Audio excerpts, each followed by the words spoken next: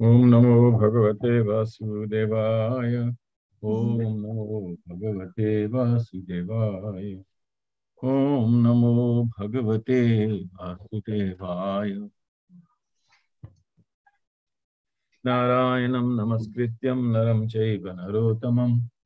देवीं सरस्वतीं व्यासं ततो जयं मुदीरयेत् नास्तप्रियेषु अभद्रेषु नित्यं भागवतसेवया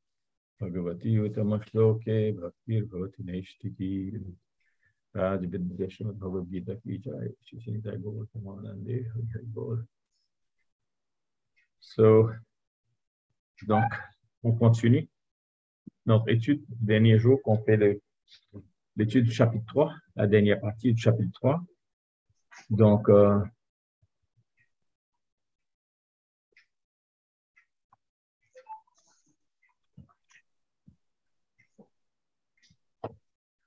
alors, euh, c'est juste pour vous encourager de, bien lire. Et ce qu'on a étudié, vous avez ça devant nous là.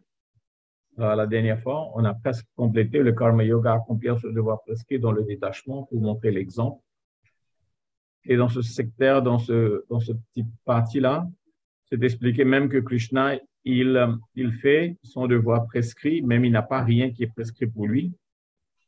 On a aussi étudié l'exemple de Maharaj Janak, qui est une personne très, très avancée, mais il fait son devoir prescrit dans le Varnashram. C'est parce que c'est important qu'on fait nos devoirs prescrits pour donner l'exemple. Et même Krishna, hein, il, euh, il fait ça lui. Donc, un dévot donc, devait décourager les gens par les paroles et son exemple à utiliser le résultat de leur travail dans le service de dévotion. Arjuna le voit finalement conseiller de combattre avec dévotion pour Krishna et se libérer des chaînes de l'action. Alors, à chaque fois qu'on étudie le yoga, que ce soit Dhyana Yoga, Karma Yoga, euh, Sankhya Yoga, c'est toujours en relation de la suprême personnalité de Dieu. Yoga, c'est de communier, de rendre notre vie en communication avec Dieu. Donc, c'est toujours lié au service de dévotion, mais avec différentes gradations. Hein. Donc, on a étudié ça avec euh, aussi avec l'exemple qu'on a utilisé de l'échelle de yoga. Maintenant, euh, c'est ça qu'on a étudié là. hein? Donc, aujourd'hui, on va compléter cette section-là. Il n'y a pas beaucoup de versets, il y a une sept versets, et puis on va commencer quelque chose de nouveau. Donc, euh, ce méfait de la concupiscence et de la colère.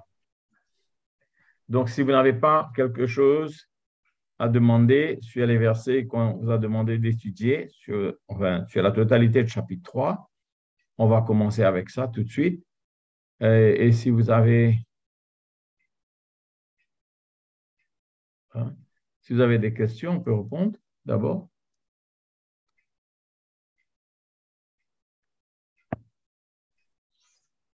Et est-ce que vous avez aussi regardé les questions, hein, les, questions qu'on vous a demandé de, de répondre sur le chapitre 3? Vous avez vu ça déjà? OK.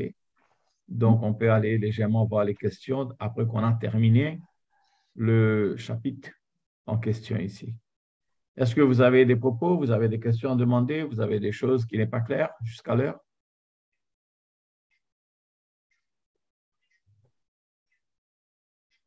Non? OK. C'est sûr? OK, on va continuer. Donc, la continuation, c'est toujours là avec le verset, hein, le verset 36 à 43. S'il y a un ou deux versets qu'on n'a pas Prabhu, s'il vous plaît, j'ai une question. Allez-y. Euh, le Buddhi Yoga, est-ce que c'est la même chose que le Jnana Yoga? Hmm, le Jnana Yoga, c'est une discipline qui nous aide à comprendre notre position, comprendre qu'on est âme spirituelle. Mais la compréhension de tout ça se fait avec une discipline qu'on appelle le Buddhi Yoga. Le Jnana Yoga, c'est naturellement le connaissance. Hmm? C'est naturellement la connaissance spirituelle en relation euh, en prenant la relation qu'on a avec la suprême personnalité de Dieu, le Prakriti et tout ça, comprendre tout ça. Mais le Buddhi Yoga, c'est plutôt l'application de notre intelligence pour surmonter, pour surmonter les confusions et les difficultés qu'on a dans toutes sortes de disciplines, que ce soit dans le Jnana Yoga, que ce soit dans le Karma Yoga, que ce soit dans le euh, Bhakti Yoga, Dhyana Yoga. Donc, le Buddhi Yoga, c'est une discipline, exercice intellectuel qu'on utilise pour surmonter les difficultés en essayant de comprendre avec l'intelligence hmm, comment appliquer correctement hein, euh, le, le Yoga, comment euh, suivre le Jnana Yoga, comment suivre le Sankhya Yoga, comment suivre le Karma Yoga. Donc, le Buddhi Yoga, c'est plutôt l'utilisation de l'intelligence pour communiquer, pour communier, pour rentrer en yoga avec la suprême personnalité de Dieu. Et parfois, ça peut être en ce qui concerne le Jnana, ça peut être en ce qui concerne le Karma, ça peut être en ce qui concerne le Karma Sannyas, le renoncement, en ce qui concerne la dévotion. C'est l'utilisation de l'intelligence pour communiquer pour communier, pour entrer en yoga avec Suprême Personne. Vous comprenez? Merci. Est-ce que c'est clair pour les autres? Oui, Prabhu, très clair, merci. Donc, euh, OK, good. Very good.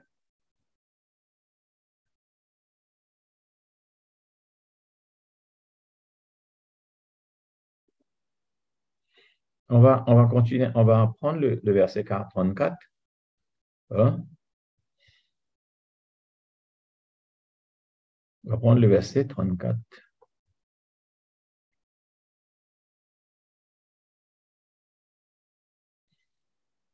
Alors, on va vous demander de lire. OK? Allez-y, quelqu'un peut commencer à lire le sanskrit naturellement faut pas être timide. Si vous faites des erreurs, ce n'est pas un problème.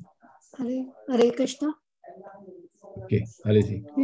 Indri, Indriya Sandriya Syate Raga Dvesho Chito Tayona Vacham Agachat Tohi Asya Pari Ontina Ontinu il existe des principes aidant à maîtriser l'attraction et la répulsion que l'on éprouve pour les objets d'essence. On ne doit se laisser dominer ni par l'attachement ni par l'aversion, car ils, car ils font obstacle à la réalisation spirituelle. Tenez donc, ok, donc indriya syandriya isyate ragadveso vyavastito tayornavashang agachet il existe des principes aidant à maîtriser l'attraction qu'on éprouve pour les objets de sens. Il existe les principes aidant à maîtriser la répulsion que l'on éprouve pour les objets de sens. Il y a deux principes. Il y a ce qui concerne euh, comment maîtriser l'attraction. Si on est attiré par les objets de sens, naturellement, il faut savoir comment euh, ne pas être affecté. Mais aussi, on n'a pas répulsion. Répulsion veut dire qu'on essaye d'être, euh, euh, soi-disant, trop détaché. Mais ce n'est pas basé sur vraiment un esprit intègre. Donc, le 2, ce n'est pas bon. C'est-à-dire qu'on essaie d'avoir de la haine. Trop de répulsion, c'est comme si la haine. Et le raga, trop d'attachement, hein, ça aussi, c'est pas bon. Et le détachement aussi, c'est plutôt plus que détachement. Raga, dvesa, c'est détachement. C'est pas vraiment détachement, moi, je crois. La traduction n'est pas correcte. Le raga, dvesa, raga, c'est trop d'attachement. Détachement, c'est bien, mais ici, c'est plutôt la répulsion. Ce n'est pas le détachement. Hein, c'est plutôt répulsion. Et ce qui est bien traduit dans le, verset. Donc, si on, est repoussé par les objets de chance, ça, c'est pas bon. Hmm? Parce que trop d'attachement, c'est pas bon. Et trop de répulsion, c'est pas bon. Donc, alors vous, peut-être ça passe dans la tête, mais alors quelle est la balance? Hmm?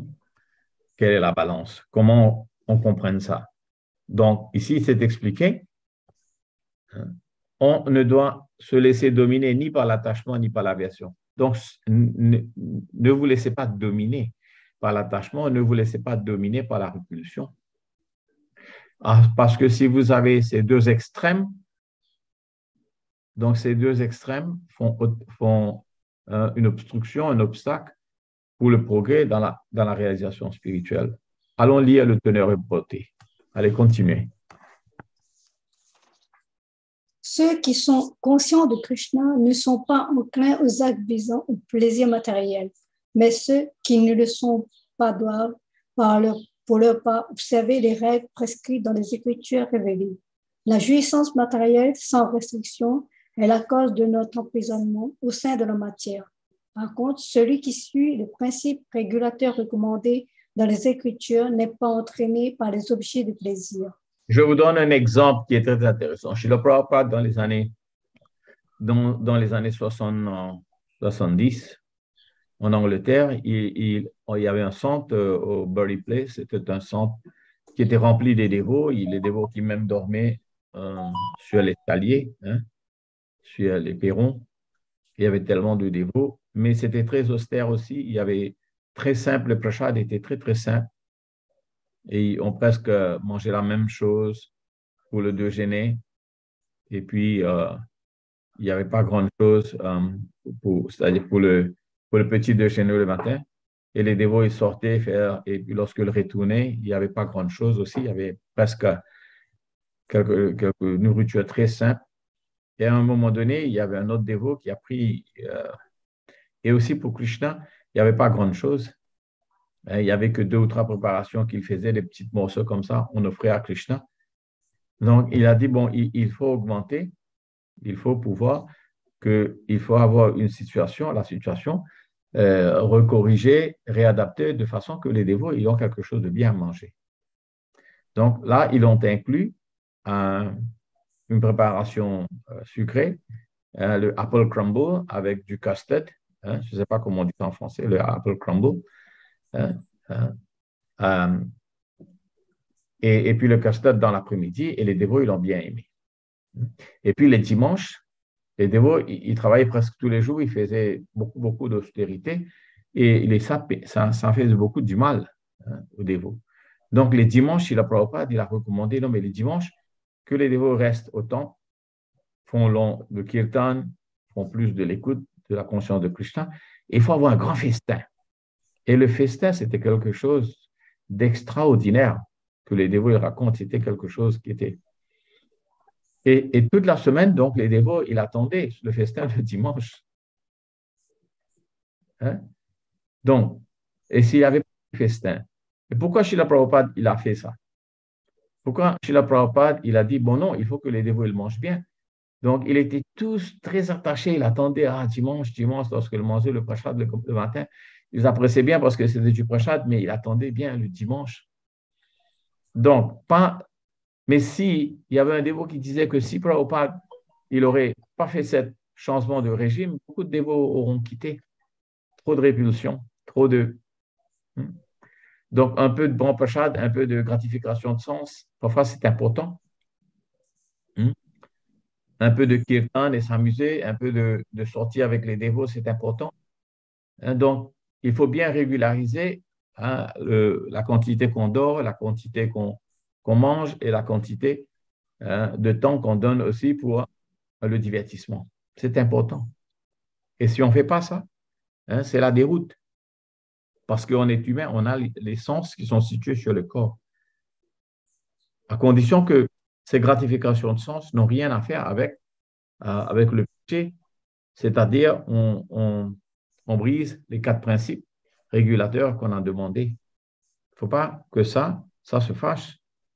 Mais, mais si on est complètement, euh, on, vit comme un ascétique, hein, on vit complètement comme une personne qui est dénudée, hein, qui est complètement retiré de toute gratification de sens, pas de prachade, dormir très peu, hein, pas un ou deux bons vêtements. Donc ça, c'est pas bon aussi. C'est ça qu'on dit ici. C'est ça qu'on dit ici. Hein, c'est pas bon aussi. Donc on ne doit se laisser dominer ni par l'attachement ni par l'aversion.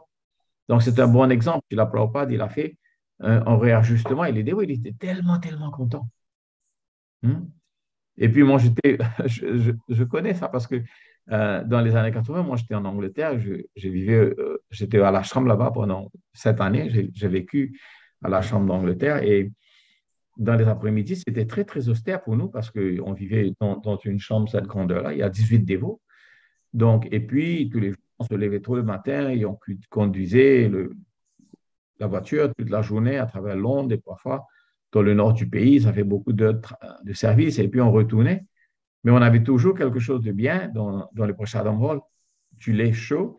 Et on avait aussi le custard, le fameux custard et le fameux apple crumble que ne pas avait, avait commencé. Il y avait toujours ça dans l'Angleterre. Donc, c'était quelque chose de bien. Et puis, les défauts, on fait aussi le halwa ou quelque chose qu'on mangeait. Donc, après une, longue journée de travail, c'est pas qu'on retourne ici et on dit, bon, on, va se plaindre, il n'y a pas rien à manger, c'est l'austérité, c'est l'austérité, c'est l'austérité, il ne faut pas gratifier les chances, faut pas gratifier les chances, faut pas manger trop de pachadam, non, mais ce n'est pas bon. Donc, chez la Prabhupada, il a bien, il a bien compris ça. Et il a mis ça en pratique. Donc, il faut avoir un bon festin, pourquoi pas. Le reste de la semaine, on peut manger euh, très sobrement, hein, des prachats qui sont bons pour la santé, on se nourrit bien. Et c'est ça qui est important. Donc, vous comprenez, c'est un très bon exemple. Hein, c'est un très bon exemple. Il ne faut pas dire aussi parce que les matadis, hein, il ne faut pas leur demander à s'habiller correctement. Ils s'habillent toujours correctement. Pour les dévots, ça c'est difficile. Hein, pour les messieurs, c'est toujours très difficile. Mais lorsqu'il y a une fête, les matadis, il ne faut pas demander aux matadis. allez vous habiller un peu, un peu mieux, c'est trop austère, vous êtes comme une bactine, euh, vous, sortez comme si... Euh, non, ça n'a pas, la peine de le dire. Hein. Ils sont toujours là prêts à, s'habiller correctement. Pour, pour, les, pour les Prabhu, c'était, hein, ils ne faisaient pas tout ça.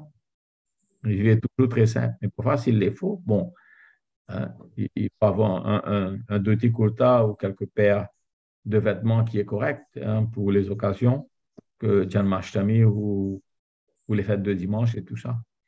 Donc, c'est ça que dit ici. Il hein. faut bien comprendre que la conscience de Krishna, c'est une culture. Donc, il faut un obstacle à la réalisation spirituelle. Donc, vous passez trop de temps devant le miroir, c'est pas bon. Passer trop de temps devant le plat de Prachadam, c'est pas trop bon. Et essayer de, vous nourrir des festins d'un jour à l'autre, tous les jours, c'est pas bon. Mais un jour des festins, c'est bon. Vous comprenez? Hein? l'esprit de, ce verset-là par l'exemple qui a été donné pour Prabhupada. Bon. Alors, continue la lecture. Le plaisir sexuel, par exemple, est nécessaire à l'âme conditionnée. Il est donc permis, mais seulement dans le, dans le cadre du mariage. Selon les normes védiques, on ne peut avoir des rapports sexuels avec une femme autre que la sienne. On doit du reste considérer toute autre femme comme sa propre mère.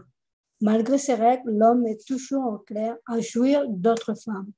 Une telle tendance, si elle n'est pas reprimée, fera obstacle à la réalisation spirituelle.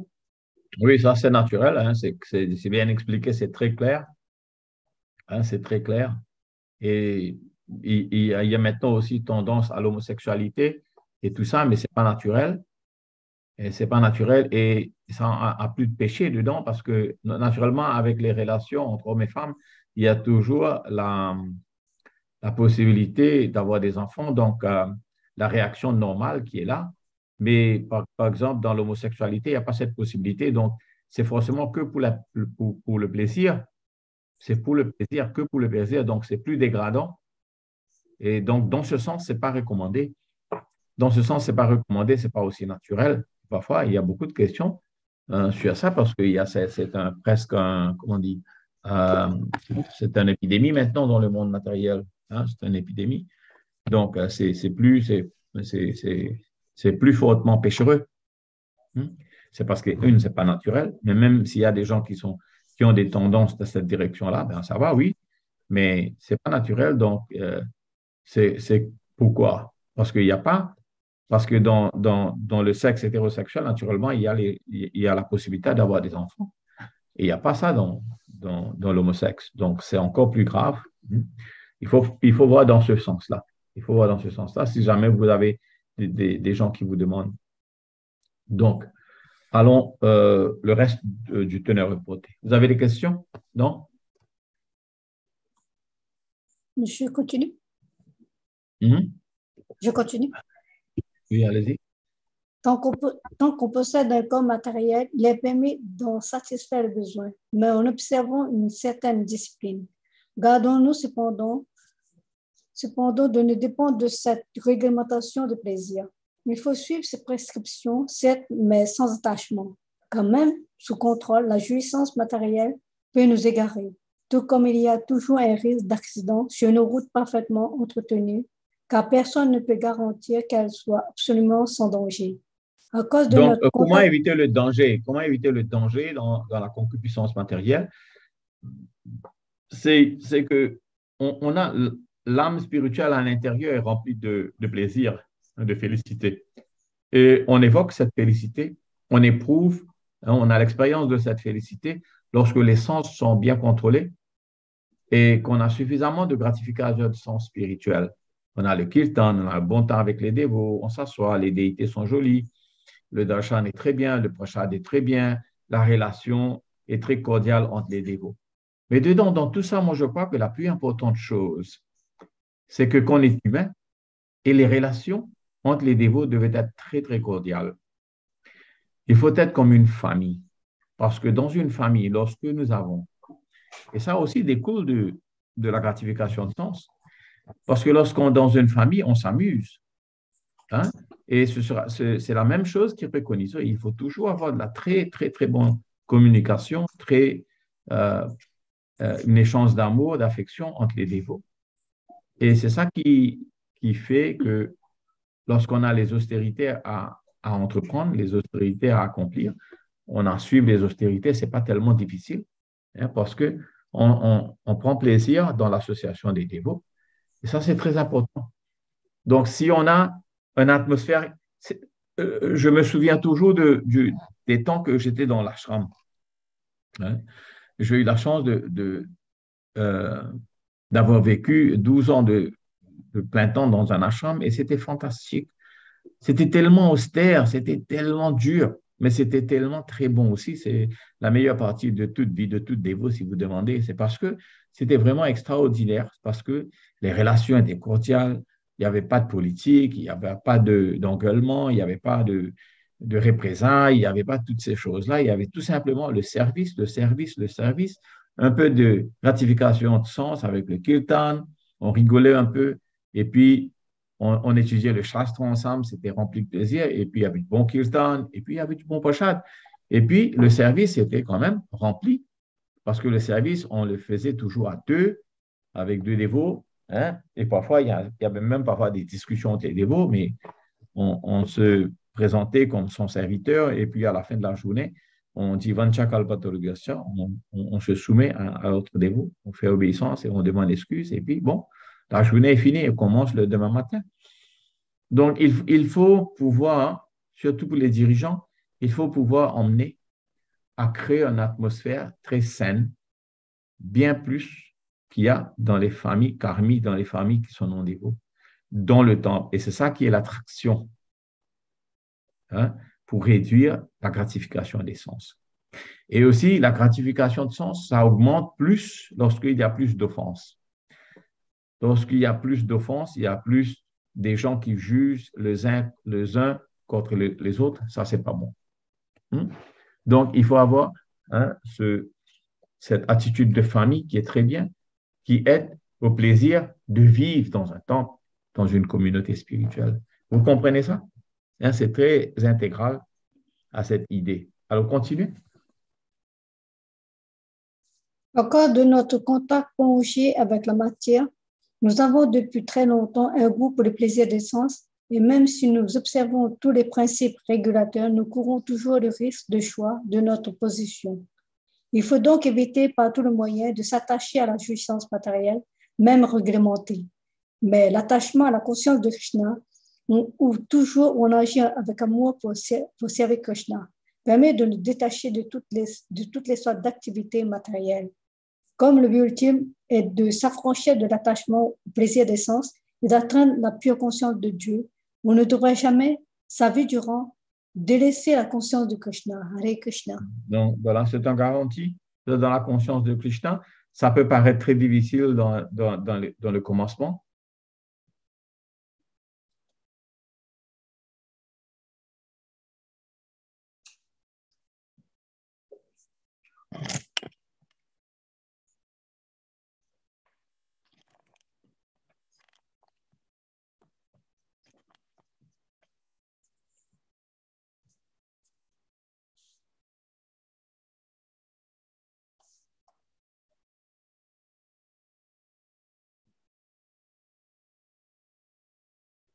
On est déconnecté apparemment.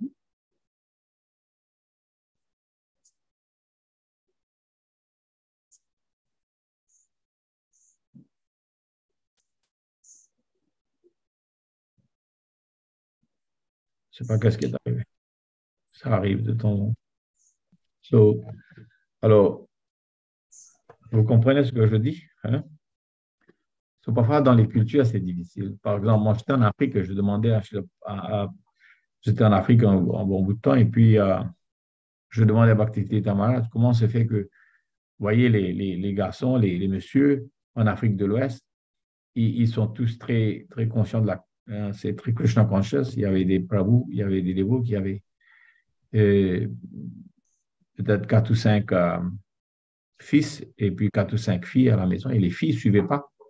Les dames ne suivaient pas et les dévots, ils suivaient la conscience de Krishna. Et j'ai vu, ça et je demandais à Bhakti Tosami, comment vous faites? Comment vous faites pour donner le... Parce que j'étais son représentant en Afrique de l'Ouest à un moment donné, et puis je demandais comment on fait? Comment vous faites donner le brahman au monsieur et les, les dames, ils ne sont pas végétariens et tout ça. Donc, c'était la culture qui était très dure.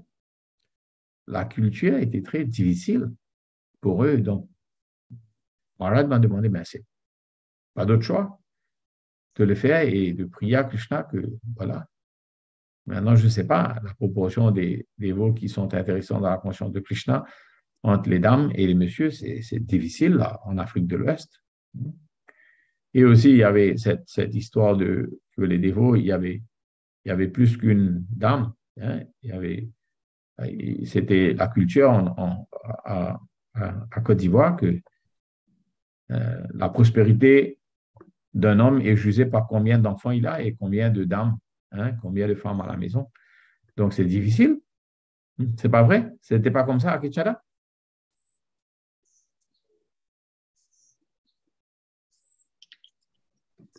Vous êtes mieux? Vous êtes mieux? Effectivement, c'est vrai, puisque chez nous en Afrique, euh, jusqu'aux années 2000, je vais dire même 2010, la polygamie était recommandée. Parce que quand tu es polygame, ça montre que tu es capable, tu es un homme conscient, posé, donc, euh, et puis tu es digne d'être représenté dans la société. Oui, oui. La dignité, la noblesse dans la société dépendait de combien d'enfants et combien d'épouses. Voilà, voilà. Donc la polygamie était c'est maintenant que le système de monogamie est en train de rentrer dans les structures euh, chez nous en Afrique ici. Vous voyez, dans la culture, c'est Mais ce qui est dangereux, mais ce qui est dangereux dans ça, c'est qu'on voit des gens qui font des mariages monogames avec euh, beaucoup de maîtresses dehors. Ouais. Donc, tout ça, c'est difficile. Euh, je parle simplement que comment appliquer toutes ces, toutes ces choses-là dans la culture. Il faut, et pour les dévots, donc, il a cette double pression lorsqu'ils sont dans la conscience de Krishna et puis ils sont jugés d'une façon ou d'une autre. Mais si dans la conscience de Krishna, le couple est très happy. Donc, tout dépend de l'atmosphère qu'on peut créer ensemble. Et ça qui est la plus importante. Hein, pour ceux qui sont dans, dans, dans, pour diriger les temples, c'est ça qui est le plus important. C'est qu'il faut créer une atmosphère où les dévots sont très, très happy, sont très contents. Et donc, on pratique nos 16 tours on garde bien l'association, on est content, on est happy dans la conscience de Krishna. Parce que je dis théoriquement la conscience de Krishna, oui, mais sa conscience de Krishna, ça se pratique dans une atmosphère, une atmosphère de communauté, une atmosphère d'association, une atmosphère de temps. Il faut que ce soit très bien. Hein, et c'est ça qui est très important comme responsabilité, très, très important.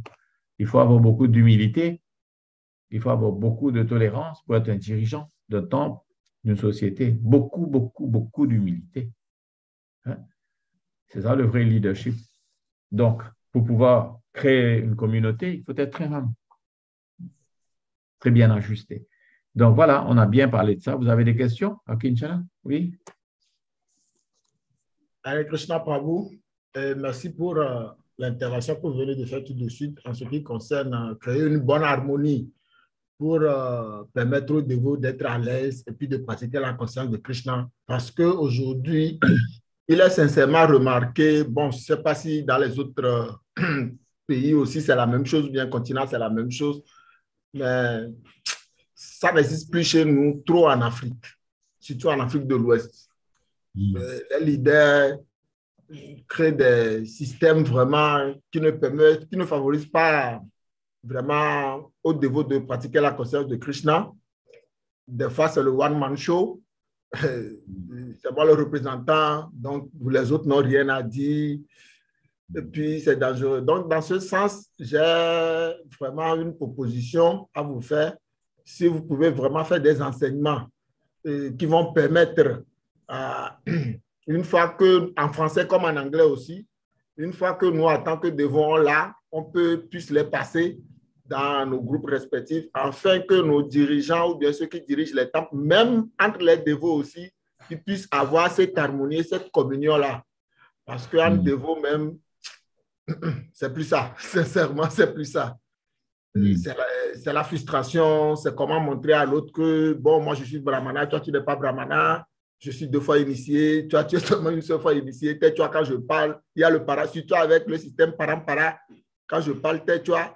Bon, chez nous en Afrique, c'est un peu, ça rentre un peu dans le cadre normal des habitudes. Euh, je vais l'expliquer en disant, chez moi en Afrique, il y a des aînés. Non, je comprends déjà ça parce que la culture, la culture de l'Afrique, c'est que euh, c'est un peu de la tribalisme, le tribalism. Donc, c'est c'est que qu'on est, qu'on est chef, on est chef à vie. Donc, on essaye de garder notre position éternellement. Mais euh, si on est chef d'un temps, ben on, est chef à vie parce que c'est la culture. Donc, c'est une réflexion de la culture. Je comprends très bien ça parce que j'ai bien parlé à, à, à Bhakti Tamarat pour des heures et des heures. On a s'asseyant à Mayapur et, il m'éduquait très bien comment ça se fait. Donc, je comprends. Mais voilà, ça, c'est pour une autre journée. Another day. OK, merci pour C'est pour notre jour. Merci, Hare Krishna, très bien. On peut toujours en parler, créer un forum, mais maintenant, vous avez des, des dirigeants qui sont bien là, hein, des dévots qui sont très aînés. Oh, vous n'avez pas vraiment besoin de vente euh, trop en Afrique. Euh, donc, euh, lorsque j'étais là-bas, il y avait, il y avait des, il y avait les sannyasis qui sont là maintenant, qui étaient mes élèves. Et là, ce n'est pas la même chose. Maintenant, ils sont goulous. Moi, je suis toujours élève. Hmm, vous voyez? Mais moi, je reste élève pour le reste de ma vie. Donc, très bien. Hare Krishna. Donc, on fait le verset 35. OK? Très bien. Hare Krishna. Shreyan swadharmo vikunaha paradharma swanushtita sadharme nidhanam shreya paradharmo bhayavaha. Mieux vaut s'acquitter de son devoir propre, fût de manière imparfaite, que d'assumer parfaitement celui d'un autre mieux vaut échouer en remplissant son devoir que remplir celui d'autrui, car suivre la voie d'un autre est fort périlleux. Qu'est-ce qu'on comprend de ça? C'est que maintenant, voyez aussi le contexte. Le contexte, c'est que si Krishna, il adresse à Arjuna, Arjuna, il veut quitter sa voie, il veut emprunter, hein, il veut emprunter une autre voie, qu'il croit peut-être c'est mieux pour lui. Hein, que de se retirer de ce champ de bataille et de se transformer en sannyasi, de se transformer en moine et d'aller vivre dans la forêt et de vivre à l'aumône, hein, en demandant l'aumône. Hein, on dit bien l'aumône. Hein, donc, il, croyait, mais ce sera peut-être la meilleure chose. Alors Krishna dit non, mais mieux que tu, fais, que tu fasses ton devoir qui est prescrit à toi, Arjuna, même si tu ne le fais pas à la perfection, même tu, si tu échoues,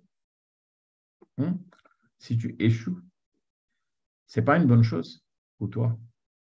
Alors, allons, allons voir ce verset en essayant de, en, en essayant de, l'appliquer hein, dans la vie quotidienne de dévot. Hein. Lorsque vous êtes dans, un, dans une communauté, vous êtes là, dans, dans une communauté, et vous avez une dizaine de personnes, et puis, comment vous appliquez cette instruction dans la vie? Et parfois, il y a toujours cette tendance, hein, oui, mais lui, il fait ça, moi, j'aurais fait mieux que lui. Hein, j'aurais fait bien mieux que lui dans ce service. Mais cette tendance est toujours là. C'est parce qu'on ne se sent pas rempli, on ne se sent pas bien satisfait dans notre engagement de service de dévotion qu'on a. Et on juge toujours les autres dévots, les autres personnes qui sont là. Mais il faut être, il faut trouver le balance, il faut trouver que dans, au bout du tunnel, c'est que tout service, toute activité qu'on fait ici, c'est pour la satisfaction de Krishna, la suprême personnalité de Dieu, et ni moins ni plus. Donc, parce que le fait pour la, hein, euh, satisfaction de Dieu suprême, hein, donc c'est mieux comme ça pour pouvoir garder nos services respectifs et contempler le plaisir de maître spirituel, contempler sur le plaisir de Krishna que sur mon satisfaction en exécutant ces services.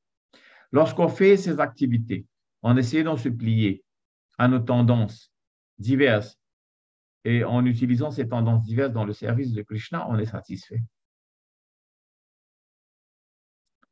Autrement, si on n'est pas satisfait dans un service, on peut toujours essayer de changer.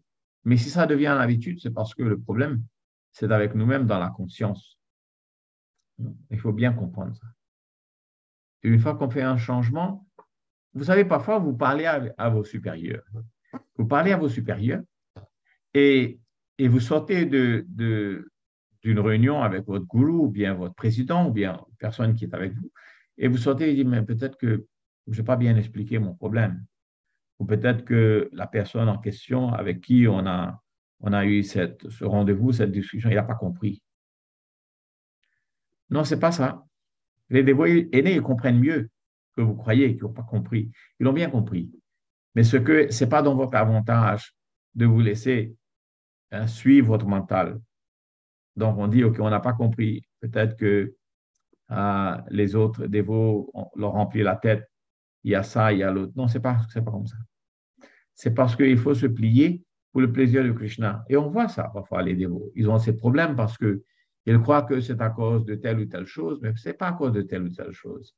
C'est à cause que notre conscience n'est pas concentrée sur, hein, sur la voie qu'on est pour pouvoir servir Krishna. Donc, c'est mieux de, travailler là-dessus. Et les gunas, hein, les gunas divers nous affectent toujours. Il faut toujours comprendre que dans chaque situation, on a vous-même et puis l'objet, c'est-à-dire le travail qu'on accomplit, la chose qu'on fait. Et moi, je suis là, mais je fais un service et je prêche avec quelqu'un ou bien j'ai une discussion avec quelqu'un et puis ça ne marche pas. Soit que moi, je ne le présente pas correctement ou bien que la personne ne comprenne pas. Non? On dit ça comme ça? C'est pas, pas vrai? Vous avez cette expérience? Oui. Hein? Oui, pas beaucoup. Et c'est toujours cette expérience. Qui, qui dit que non, moi, je n'ai jamais eu cette expérience? Levez la main. non? Vous avez eu tous cette expérience? Oui. Et comment vous expliquez ce problème alors? Je pense Mais que vous êtes vis-à-vis, vous êtes vis-à-vis avec l'autre personne, l'interlocuteur qui est là. Pourquoi il y a toujours ce problème? Qui peut me répondre ça intelligemment? Parce que c'est nous-mêmes, c'est notre comportement, notre façon de nous voir, de projeter la chose. Et on n'arrive pas. Et si vous à répondez comprendre. cette question correctement, je vous donne votre degré de Bhakti Shastri aujourd'hui même. C'est un vrai, c'est un vrai challenge. hein. Hare Krishna. C'est je, Hare Krishna. Je pense que c'est parce qu'on n'a pas su se mettre au même niveau de la conscience dans laquelle euh, la personne se trouve. Donc, si on est vraiment conscient de Krishna, on, doit comprendre qu'est-ce que la, personne veut essayer de nous faire comprendre. Et à ce moment-là, on peut l'expliquer.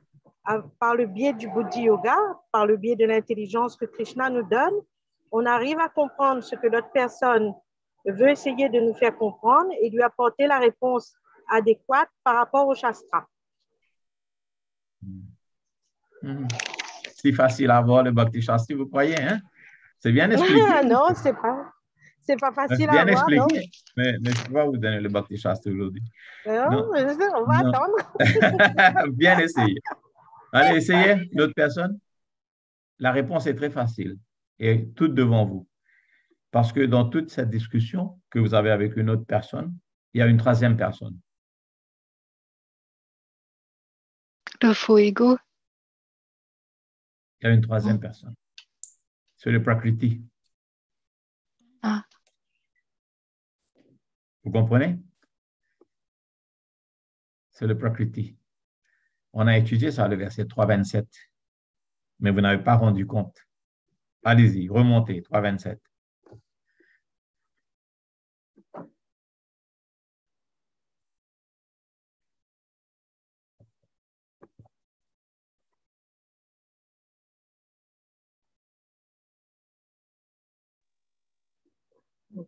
Âme égarée par le faux ego. Mais quoi vraiment?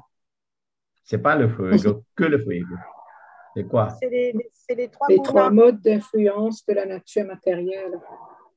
Prakriti Kriyamanani, Hein? La, la- la nature matérielle qui fait l'accomplissement des choses à travers les gunas. Hare Donc, Krishna, vous êtes Prabhu, j'ai en- une question. Attendez, attendez, attendez. hein. Oui. Vous êtes en collaboration avec une autre personne, vous essayez de discuter quelque chose. Vous, vous, vous êtes un âme spirituelle. Vous êtes, vous n'êtes pas le, le doueur. Comment on dit le doueur? Le fêteur? Celui qui accomplit les actes. Oui, L'auteur de l'action. Vous n'êtes pas L'auteur. de la. Oui. Et de l'autre côté, cette personne qui vous répond, il aussi ou elle aussi n'est pas l'auteur de leurs actions. Donc, vous essayez d'être un témoin de ce que vous faites et vous croyez que c'est vous qui portez les propos. Et de l'autre côté, la personne aussi, il ou elle croit qu'elle présente des contre-propos. Mais il y a une treizième personne qui est en train de tout, de tout colorier, de tout mélanger entre, entre ces deux présentations. C'est le Prakriti. Là, vous comprenez bien? C'est le Prakriti, elle a sa propre manière de faire. Selon vos karmas, selon le karma de la personne, elle a sa propre manière de faire. Elle a sa propre fréquence de faire une interférence qui est nécessaire selon elle, selon nos mérites, selon nos karmas. C'est ça qui est dit ici. Prakrite kriyamanani gunei karmani sarvasa. À travers les trois modes de la nature matérielle, le prakriti qui accomplissent les actes. Mais nous, ou l'autre personne, ok, influencé par le faux ego, se croit être l'auteur de nos, de nos actes. Donc, si ça ne marche pas lorsque vous avez une présentation avec autre personne, c'est parce que, vous, vous savez, je vous dis franchement, si vous avez une, et peut-être vous avez tous cette, expérience, vous avez une querelle avec votre époux, votre époux, êtes épouse, et vous n'avez pas l'intention de faire quelque chose, et vous n'avez pas fait cette chose-là, et l'époux ou l'épouse, elle vous harcèle pour vous dire que non, mais c'est bien ce que tu as, tu as présenté, c'est bien ce que tu as dit. Et donc, c'est malentendu est la source de toutes sortes de misères, de toutes sortes de problèmes. Et archi d'expliquer, de, j'explique, j'explique, et, et elle, elle explique, ou où les deux s'expliquent, mais ça ne marche pas. Vous savez, parce qu'en il y a la troisième personne qui fait le chamboulement. C'est le prakriti, selon les karmas. Il faut toujours comprendre ça. C'est très nouveau pour vous, hein? Hmm, c'est difficile à Ah réaliser. oui, ça. pas beaucoup. En fait, elle est plus puissante et comment arriver à... Oui, elle est plus puissante. Donc, elle, est très puissante. Donc, il faut bien comprendre. Il faut bien comprendre. Elle est très puissante. Et elle, fait, vous fait faire des choses si la conscience est contaminée. On est des âmes conditionnées. Vous comprenez, vous n'êtes pas libre de vos propos, vous n'êtes pas libre de vos idées, vous êtes âme conditionnée. On est tous âmes conditionnées. Et la conscience contaminée, la conscience matérielle, la conscience contaminée, ce que naturellement, elle, elle nous fait avoir, elle, elle nous fait avoir des souffrances. Et vous allez vous corréler avec votre époux, vous êtes épouse, mais je ne vous ai pas dit ça, moi. Ce n'est pas ça que j'avais l'intention. Mais Prakriti, elle sourit, elle dit, ben moi, j'ai l'intention de vous faire souffrir. Est-ce qu'elle est Elle nous met dans responsable de ennuis, en fait. Hein? Elle nous met dans les ennuis. Non? Moi- C'est son moi, travail. croyais- Elle fait son travail bien. Bah, en fait, peut-être Son c'est. croyais travail, que c'est de vous mettre dans des ennuis, oui, si vous voulez. Je croyais que c'était que la conscience ou le mental qui faisait Vous croyez que, quoi? que c'était que la conscience ou le mental qui faisait tout ça. Oui, mais c'est la, le- la conscience, oui. Le mental, elle est morte. Le corps, elle est morte. Elle est inerte. Hein? Elle n'a pas la capacité de réfléchir. L'âme a la capacité de réfléchir, de penser. Mais elle n'a pas, elle n'a pas possibilité d'exécuter. Je ne comprends pas. C'est qui? Oui, Oh, on dit, oh, est-ce qu'elle est responsable de nos actes? Elle n'est pas responsable de vos actes. Oui, Bénin. Est-ce que la pratique est responsable de nos actes? Non, c'est vous, vous êtes responsable. Vous, vous êtes responsable de vos actes qu'elle vous fait obligé de faire. Ok. C'est triste. C'est la triste condition humaine, Oui, comme c'est la disait Jean-Paul Sartre. C'est ça. C'est triste. Vous n'êtes pas auteur de ces propos. Elle, est, elle, elle, elle fait interférence. Et puis vous vous êtes tenu témoin et vous êtes tenu coupable, accusateur et tout. C'est ça le, le monde matériel. Donc, lorsque vous êtes conscient de Krishna et la conscience est bien raffinée, la conscience est bien purifiée, là, on n'a pas ce problème. Et lorsque vous, vous avez ce problème-là, vous croyez, ben, OK, ben, pourquoi c'est pas tourné comme ça? Mais parce que les, les dévots, ils comprennent ça, ils, ils savent. Ben, parce que moi, qu'est-ce que je peux faire? C'est Prakriti qui va vous, euh, qui va vous engueuler, c'est Prakriti qui va vous euh, emmener à, ces conclusions-là. Qu'est-ce que je peux faire moi? C'est parce que c'est votre karma, c'est le karma. Donc, se plier aux autorités spirituelles, c'est comme si de dire à Prakriti de s'écarter. C'est très intéressant, ça. C'est très intéressant. Allez-y. Verset 39. Vous comprenez? Vous voulez porter des questions? Quelqu'un?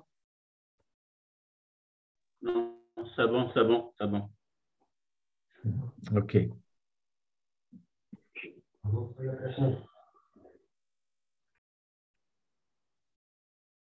Vous savez, c'est expliqué très simplement ici. Vous savez, dans le canto 3 de la Srimad Bhagavatam, il y a trois chapitres remplis des versets qui vous montrent comment la nature matérielle, elle ne nous laisse pas faire. Trois chapitres. Hmm? Dans le Srimad Bhagavatam, que je suis en train d'enseigner. Trois chapitres. Voilà. Euh, dans le Sankhya, Fundamental Principles, hein, euh, les principes fondamentaux de Sankhya, dans le verset, dans le chapitre 26, et puis euh, principe fondamental de la nature matérielle, comprendre la nature matérielle, chapitre 27, et puis exécution de service de dévotion, et, et puis il y a euh, dans le chapitre 3, 3, dans le chapitre 30, hein, dans les descriptions des activités fructives, c'est toujours lié aux natures matérielles. Et puis les mouvements, hein, les mouvements des entités vivantes, euh, chapitre 31, c'est toujours lié à la nature matérielle, comment elle, elle nous mène. Elle nous mène, voilà le mot. Hein, les mouvements de l'entité vivante, et puis, et tout ça. Et puis, comment on est bloqué dans l'activité fructive. Donc, il y a quatre ou cinq chapitres qui traitent de ça, très intense.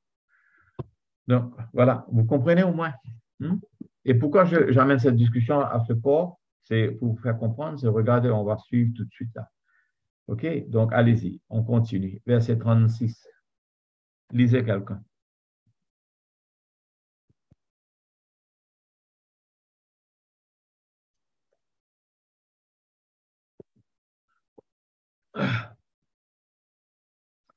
Francis, s'il vous plaît.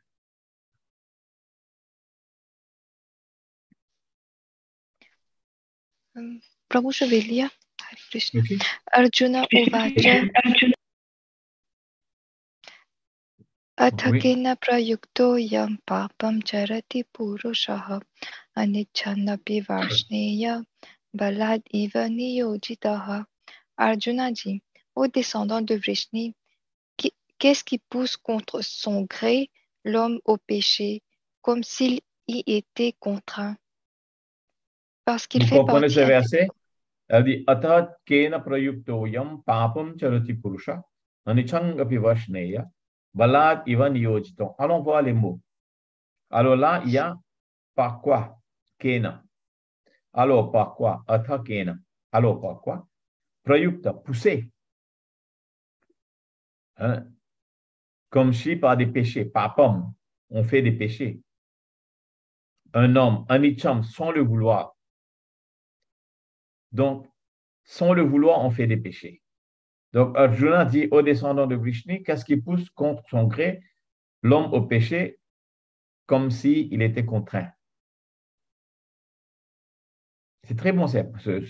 Donc, dans cette section, si vous voulez bien, dans cette section, avec le livre que vous avez devant vous, euh, c'est cette section entre les versets 36 euh, euh, à 43. On essaye d'étudier, Arjuna demande à Krishna quelle force nous pousse à agir d'une manière coupable? Et abandonner son devoir prescrit, c'est-à-dire notre karma yoga, hein, notre karma. Krishna décrit notre ennemi éternel sous la forme de la concupiscence. On peut conquérir la concupiscence en agissant dans la conscience de Krishna, etc. C'est ça, c'est ce qu'on est en train d'étudier. Donc, alors, Krishna, il demande cette question, hein, Arjuna Uvacha, ce qu'il demande, il pose cette question, mais comment ça? Presque, on, est, ressent qu'on est poussé pour accomplir des actes qu'on ne veut pas. Pourquoi ça? Alors, essayons de comprendre. Alors, lisez le teneur parce qu'il fait partie intégrante du suprême, l'être est originel et originellement spirituel, pur et libre de toute contamination matérielle. Par nature, il n'est donc pas sujet au péché de ce monde, mais au contact de la matière, il s'adonne sans hésitation à toutes sortes d'activités pécheresses, parfois même contre... Attendez, relisez ce premier ligne. Parce qu'il fait partie intégrante du suprême, L'être est originellement spirituel, pur et libre de toute contamination matérielle. Qu'est-ce que vous comprenez pas ça? Ben, on n'est supposément pas être conditionné. Oui, on n'est pas. On ne supposait pas être conditionné. Est-ce qu'on l'est? Non, on est conditionné. oui, on est conditionné on est conditionné. Donc, quelle est la différence entre conditionné et contamination matérielle?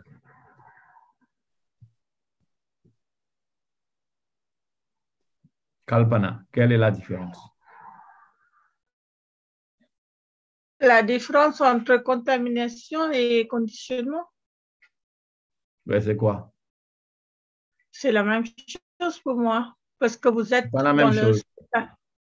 C'est pas la même chose parce que l'âme spirituelle, pure et libre de toute contamination matérielle. L'âme spirituelle n'est jamais contaminée.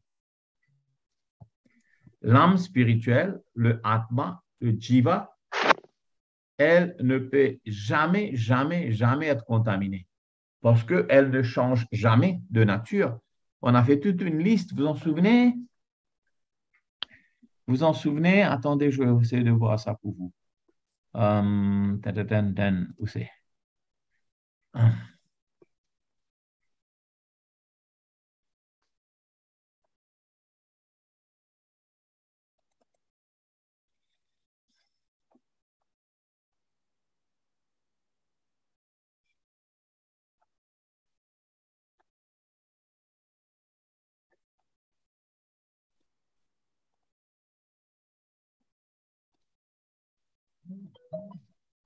Regardez.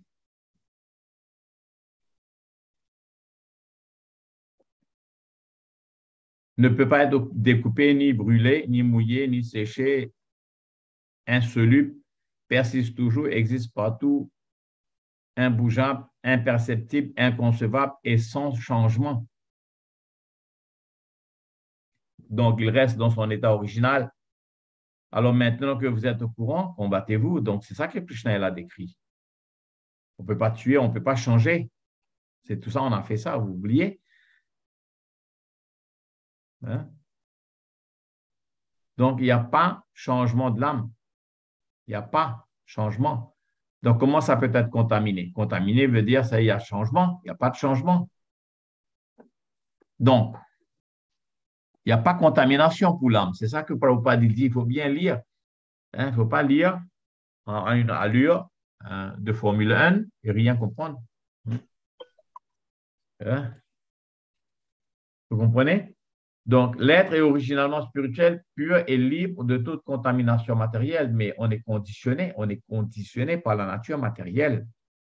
Mais l'âme spirituelle n'est pas contaminée, n'est jamais contaminée. On est conditionné matériellement, oui. On est dans des conditions matérielles, on vit contrainte par la nature matérielle, mais l'âme spirituelle, elle est loin de toute contamination. Donc, c'est Prakriti qui fait l'enjeu. Voilà, voilà, vous comprenez, c'est Prakriti qui fait l'enjeu.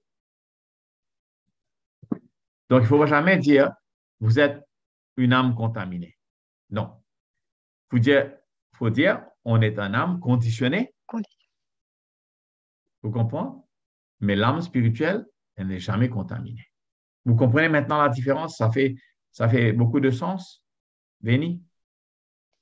Oui. OK, allez, continue. Mais au contact de la matière, il s'adonne sans hésitation à toutes sortes d'activités pécheresses, parfois même contre son gré. La question d'Arjuna. Ah, attendez, attendez. Même contre son gré. Vous savez, parce que parce qu'il y a quelque chose d'autre et une troisième entité qui les force. Donc, c'est ça le conditionnement. On est conditionné à faire des choses qu'on ne peut pas faire parce qu'on est, dans une on est dans une situation de conditionnement extrême et on est forcé de le faire. Hmm? Alors, continuez. La question d'Arjuna concernant la nature pervertie des êtres vivants est donc particulièrement appropriée. L'homme se voit parfois contraint de commettre des méfaits sans l'avoir désiré. Or, ces actes coupables ne sont pas provoqués par l'âme suprême. Ils ont, comme l'explique le Seigneur dans le prochain verset, une toute autre cause. Hmm. vous savez, il y a toute autre cause. Et la cause, c'est toujours les actions perverties de, de, de Prakriti selon les actes, les actes que nous avons commis dans le passé, le karma. Hein, le Prakriti, elle agit avec ces trois fréquences, hein, les trois gunas, et il a une troisième fréquence qui fait l'interférence. C'est comme si vous avez communication avec deux personnes, il y a une interférence de fréquence. Hein, et, vous entendez mal. L'époux, il, dit ça, l'épouse, elle comprend ça. L'épouse, elle, dit ça, et l'époux, comprend ça parce qu'ils sont sur ils sont sur la même longueur d'onde, mais il y a une interférence entre, vous comprenez? Ça, c'est très intéressant, comprendre ça. Hein. Donc, lorsque vous comprenez ça, Là, vous, vous allez essayer d'être Krishna conscious sans étant conscient de Krishna, on ne peut pas éliminer cette interférence. Comprenez bien? Ok. je peux vous demander quelque chose parce que c'est marqué, c'est euh, originalement C'est qui? au départ. Ah. Je vais lire là en français. C'est marqué que euh, l'être est originalement spirituel. Donc, c'est à l'origine, il est spirituel, mais après, quand il arrive dans le monde euh, matériel, il est contaminé. Non, il reste spirituel. Il est conditionné. Autrement, ce que j'ai lu là, ça n'a pas de sens. Hein? Vous savez, il n'y a pas de sens. L'âme spirituelle est pure et libre de toute contamination matérielle. L'être est originellement spirituel, pur et libre de toute contamination matérielle. Le conditionnement matériel et la contamination spirituelle de l'âme, c'est deux choses différentes. Le conditionnement est fait par le Prakriti dans les circonstances où nous vivons. Mais l'âme spirituelle, comme un témoin, il reste exactement comme il était à l'origine. Le désir est perverti dans la conscience matérielle qui est contaminée. C'est la conscience qui est le symptôme de l'âme qui est contaminée. L'âme n'est pas contaminée. Dans ce cas, toutes les mauvaises choses qu'on fait, comment vous expliquez alors? C'est parce Non, que c'est c'est ça, ça, il faut bien le comprendre. C'est parce que toute chose qui est faite est accomplie. Le, système d'actions qui sont accomplis, vous, vous avez un désir et le moteur pour le désir, c'est l'existence de l'âme. Parce que l'âme existe dans le corps et le désir est toujours le désir qui vient par l'âme. Mais à part le désir, il n'y a rien qu'il peut faire. Le mouvement, le mouvement, la motion, la présentation, les actes, la convoitise, tout ça, c'est exécuté à travers les différents éléments du Prakriti. Mais juste parce que le désir n'est pas possible sans la conscience. Et la conscience étant le symptôme de l'âme, l'âme est responsable. Avec le même désir pour servir Krishna dans la spiritualité, le conditionnement spirituel, c'est différent, c'est la liberté. Le conditionnement matériel nous oblige dans ce sens. Donc ça, vous allez mieux comprendre lorsque vous faites le chapitre 13. Hmm? Tout est expliqué bien dedans. Mais au moins là, vous pouvez comprendre que la conscience contaminée, ça, vous allez comprendre ça un peu plus tard dans, dans Bhagavatam, ça s'appelle le chitta. Le chitta, la conscience contaminée. Et la conscience contaminée, mais la conscience même, elle est symptôme de l'âme, que ce soit la conscience spirituelle ou la conscience contaminée. S'il n'y a pas âme, il n'y a pas conscience. À cause du fait qu'à cause de cette âme, il y a la conscience, que ce soit contaminé ou spirituel, l'âme est responsable. C'est tout. Vous allez comprendre ça au fur et à mesure, Kalpana. Ce n'est pas quelque chose que se fait, se fait comprendre tout de suite, mais vous allez comprendre. OK? Acceptez ce point. Et on Krishna, continue. Prabhu. Gadadhar? Hare Krishna Prabhu. À ce propos-là, euh, dans la Bhagavad Gita chapitre 9, euh, Srila Prabhupada a donné deux exemples. Il a donné l'exemple de l'air. Il dit l'air est toujours pur, mais l'air peut se mélanger avec les mauvaises odeurs de la maison ou de la rue, dans les quartiers, les caniveaux sales. Mais c'est l'odeur hein, qui, qui- L'air n'a rien avec l'odeur.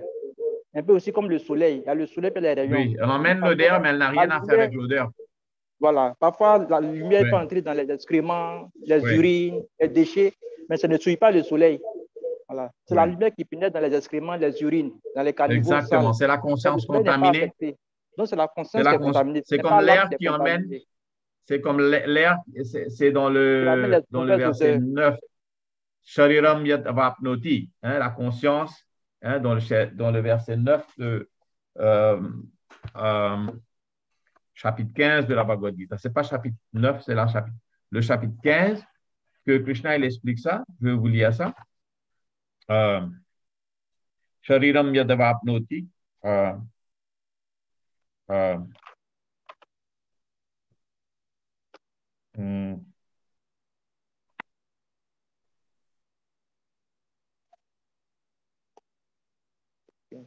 Verset 8 par bout. 15, 8. 15, 8. 15, 9, 15, 8. 15, 15, 8. Voilà. OK. Voilà, elle dit. The living entity in the material world carries its different conceptions of life from one body to another, as the air carries aromas. Thus, he takes one kind of body and again kicks it to another. Donc là, l'entité vivante dans le monde matériel emmène avec lui les différentes conceptions. Et les conceptions sont dans la conscience contaminée, ce n'est pas dans l'âme. La conscience contaminée, c'est comme, c'est comme l'air. Hein? Vous, avez un jardin de fleurs très aromatique, très parfumé. Et l'air qui passe dans ce jardin, il vient dans, dans la cour chez vous. Ah, vous avez un parfum extraordinaire. Et vous dites, ah, très bon parfum, l'air est parfumé. OK. Maintenant, vous avez des égouts de l'autre côté et l'air passe dedans. Et lorsque ça vient dans la cour où vous êtes, c'est de la puanteur. Et vous dites, bon, l'air est puant. L'air est ni puant, l'air est ni parfumé. L'air, tout simplement, elle emmène la, la puanteur et elle emmène le parfum. C'est la même chose. C'est la conscience qui est dans la puanteur ou bien dans le parfum de la conscience de Krishna. C'est tout. C'est la conscience. C'est la conscience qui est contaminée. Hein? Et la conscience est un symptôme hein, de, conscience. C'est un très bon exemple. Hein, et, autre exemple comme pour le soleil est, donné. Donc, il faut bien comprendre. Alors, on va continuer. Hmm.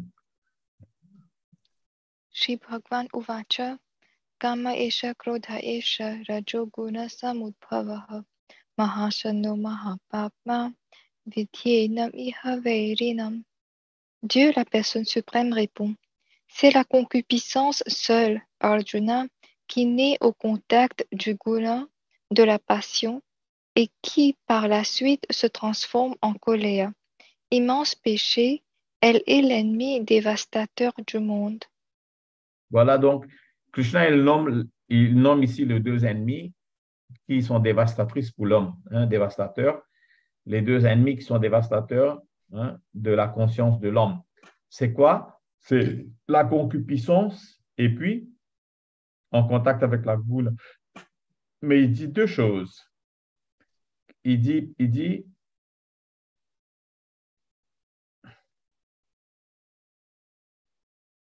c'est pas sa traduction là en français là.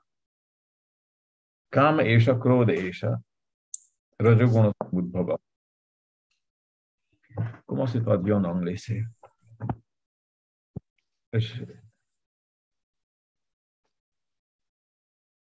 57. Oh.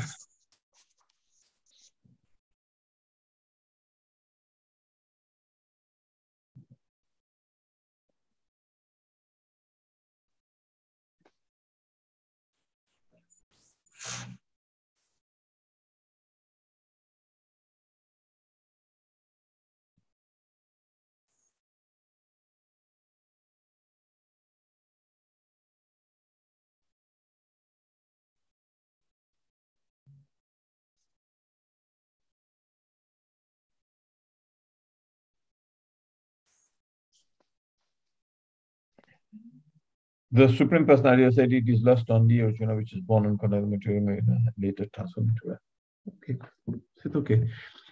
All right. So, donc, il, y a, il nomme vraiment deux, un ou deux ennemis.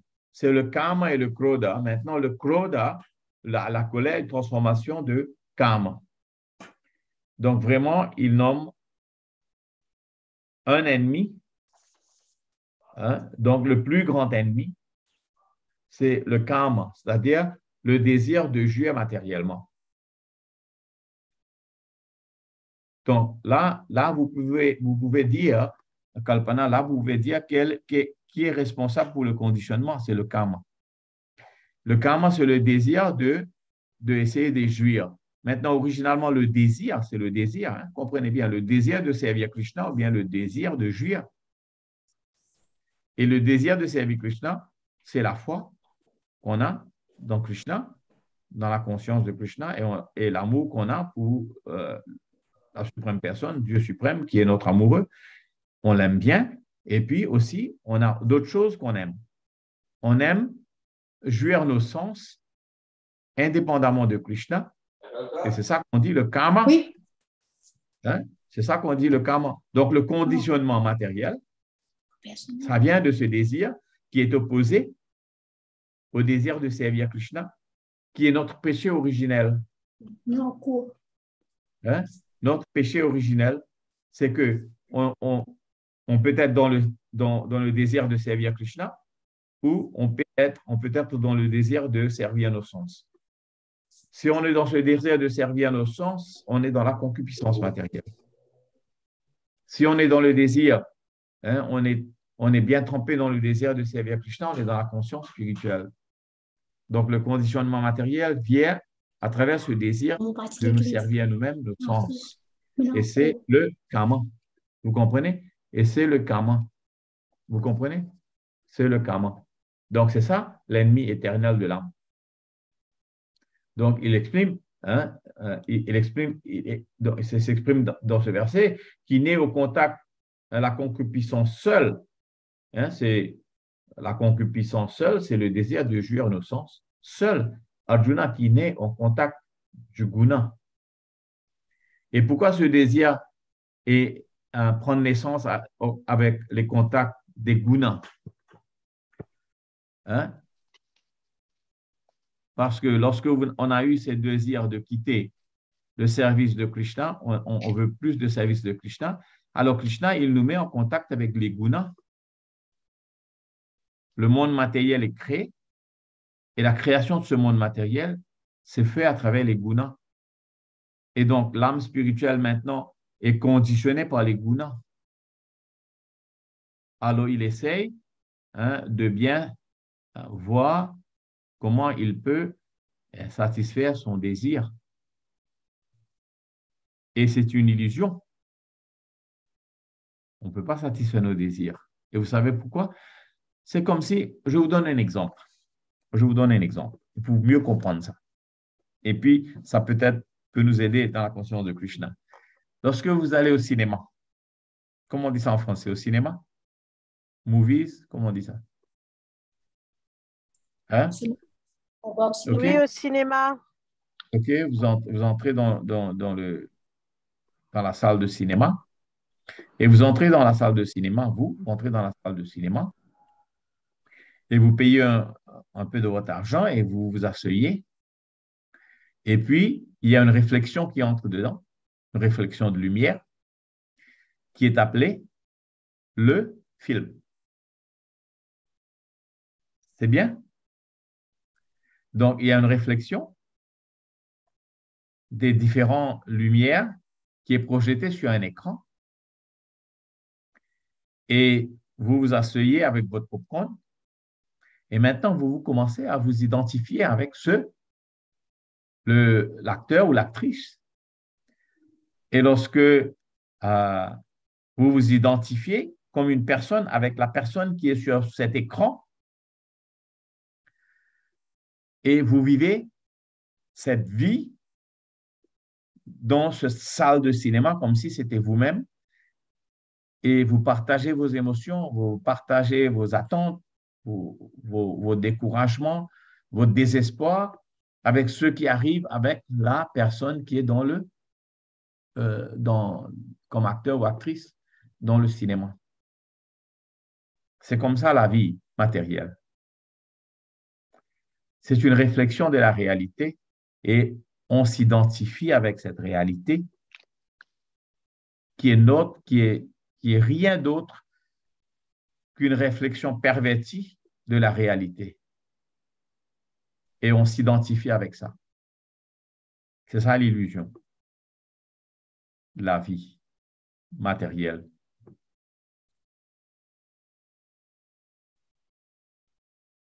C'est clair? Oui. On est tous très tranquilles, hein? Parce que vous savez pourquoi vous êtes tranquille? Parce qu'on a été bien embêtés. On a payé notre argent pour entrer dans une salle de cinéma et puis on se croit maintenant. Il y a beaucoup,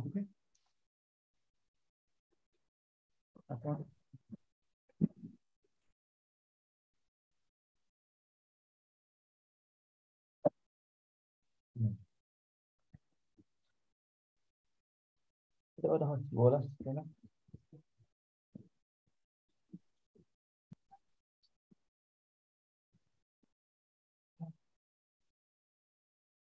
Non.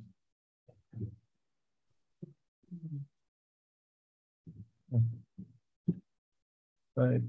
Hmm. Oui, oui. Hop, ça. Un, un. Viens le prendre. Un. Ok, Hare Krishna. Alors voilà. Donc, euh, la, conscience contaminée, l'âme pure, hein, mais la conscience est contaminée. Voilà le symptôme de, de notre vie matérielle. Donc, elle est l'ennemi dévastateur du monde. Donc, continue à lire. Quand l'être vivant entre en contact avec la création matérielle, son amour éternel pour Krishna se transforme en concupiscence, sous l'influence de la passion, tout comme le lait qui, sous l'action du tamarin, se transforme en yaourt. Inassouvi, cette concupiscence se transforme en colère. Et la colère plonge l'être dans l'illusion qui perpétue son existence matérielle. La concupiscence est donc son plus grand ennemi. C'est elle qui garde l'âme prisonnière de la matière. La colère et ses conséquences sont la manifestation des modes d'influence de l'ignorance et de la passion. Si, en suivant certaines règles de vie, on peut s'élever de la passion à la vertu plutôt que de choir dans l'ignorance, on développera un goût pour le spirituel qui nous préservera de l'avilissement de la colère. Donc, si, on essaye de, s'élever dans la conscience de Krishna, hein, dans, la, piété et pas, pas dans, le péché, on est, hors, donc, euh, euh, libéré des, des actions, des conditionnements de mode de passion et d'ignorance. Donc, dans la mode de bonté, dans, le mode de goodness, on a la connaissance spirituelle, on a la distinction, on a la possibilité de comprendre la connaissance spirituelle et on commence à ne pas s'engager dans des actes pécheresses. On essaye d'éviter la concupiscence matérielle. Ça se fait dans le mode de bonté. Et de là, on peut comprendre, on peut commencer à progresser, on peut commencer à progresser correctement dans la vie spirituelle. Parfois, on est dans dans les plus basses régions de la conditionnement matériel par les, par les euh, modes inférieurs tels que la, la passion et l'ignorance. Et on continue à faire nos, nos services de dévotion dans des conditions avec d'influence de modes de passion et d'ignorance. C'est pas vrai. Hein? hein? On, on, peut être très coléreux on peut être très orgueilleux, on peut être très arrogant, on peut être euh, rempli de désirs et on essaie de faire notre service de dévotion. Hein? C'est pas vrai? On n'est pas tous des saints. Hein? On n'est pas tous dans les plus hauts échelons de la spiritualité et on essaie de faire notre service de dévotion. On essaie de le servir même avec, avec, avec la colère, avec le mépris, avec très peu de l'amour pour les dévots, mais on essaie de faire nos services de dévotion. Vous savez, les, les, conditionnements est très dur, hein. mais il faut continuer, chanter très correctement le japa avec beaucoup d'attention et tout ça, et puis on sort, hein, comme c'est expliqué dans les Bhagavad Gita, dans le Bhagavatam, Rajastamo Bhava Navidam Stitam Satya se situer dans les, les, échelons plus avancés de mode de la nature, c'est la bonté. Et puis, avec mode de bonté, maintenant, on va encore plus loin dans la transcendance. Il faut éviter le mode de passion et d'ignorance. Hein? Donc, il est dit ici que la colère et ses conséquences sont la manifestation des modes d'influence de l'ignorance et de passion. Si en suivant certaines règles de vie, on peut s'élever à de passion, de la passion à la vertu, vertu, mode de goodness, c'est la vertu, plutôt que de hein, être dans l'ignorance. Voilà. Continuez. Dieu, la personne suprême, s'est multiplié pour que sa félicité spirituelle, dont tous les êtres sont partie intégrante, ne cesse de croître. Ils ont donc eux aussi une certaine indépendance. Mais parce qu'ils l'ont mal utilisée, leur attitude dévotionnelle s'est transformée en désir de jouissance matérielle. Ainsi sont-ils tombés sous l'empire de la concupiscence. Le monde matériel a été créé par le Seigneur pour permettre aux âmes conditionnées de satisfaire leurs convoitises. Et pour qu'après avoir éprouvé frustration sur frustration, l'homme commence à s'interroger sur sa nature véritable. Krishna, vous savez maintenant pourquoi il y a cette troisième personne entre cette troisième personne hein, transcendantale, elle fait cette activité minable pour essayer de vous nuire à la vie. Vous comprenez? Non, c'est pas compris? Hein? Estelle, c'est bien compris? C'est qui cette troisième personne? La Prakriti. La Prakriti, voilà. Elle ne va pas vous laisser faire parce que ce n'est pas, pas dans votre intérêt. Alors, si vous lisez bien ça, hein, c'est parce qu'ils sont mal utilisés et transformés en désir de jouissance matérielle. Ainsi, sont-ils tombés dans l'empire de la concupiscence. Donc, pour, et pour qu'après avoir éprouvé frustration sur frustration, donc vous dites A, on comprenne B. Vous dites B, on comprenne C, parce que la fréquence est complètement dérangée. Et pourquoi? Pour créer cette frustration. Et pourquoi pour créer cette frustration? Pour qu'on commence à s'interroger, mais qu'est-ce qu'il y a? Quel est le problème? Qui suis-je? Et pourquoi je suis dans la souffrance? Kéami. Kéami. Et Sanatan Goswami demande, Kéami, qui suis-je? Comment je te sapatreya? Et pourquoi hein, je suis dans la souffrance? C'est parce que, à cause de cette raison, on ne vous laisse pas faire. C'est la science, c'est la science spirituelle. Ne croyez pas que vous sortez de, de, la condition où, on est, c'est difficile, les dévots sont comme ça, les dévots sont comme ça, la société est comme ça, le yatra est comme ça. Ne croyez pas que vous allez sortir de là et puis vous allez créer quelque chose de mieux. Non, non, non, non, non, ne vous embêtez pas. Restez là où on est et continuez à servir Krishna. C'est la seule solution. C'est la seule solution. OK? Voilà. Et continuez à lire. Le Vedanta Sutra met d'ailleurs tout de suite l'accent sur cette interrogation. Atato Brahma Jigyasa on doit s'enquérir de la vérité absolue et le Shrimad Bhagavatam décrit en ces termes la vérité absolue. Janmadi asya yato nyavad itaratascha. Le Brahman suprême est l'origine de toute chose. Qu'est-ce que vous ne comprenez pas ça? Le Brahman est, est origine de toute chose, même origine de votre souffrance. Cette conscience matérielle, cette prakriti, cette transformation de Brahman. Le Prakriti l'énergie matérielle de Krishna. Hmm, il est transformé originalement de l'énergie spirituelle de Krishna. Hein, le, le, lait mélangé avec le yaourt, ça devient mélangé avec le citron ou le tamarin devient yaourt. C'est originalement l'énergie de Krishna. Tout est énergie de Krishna. Janmadi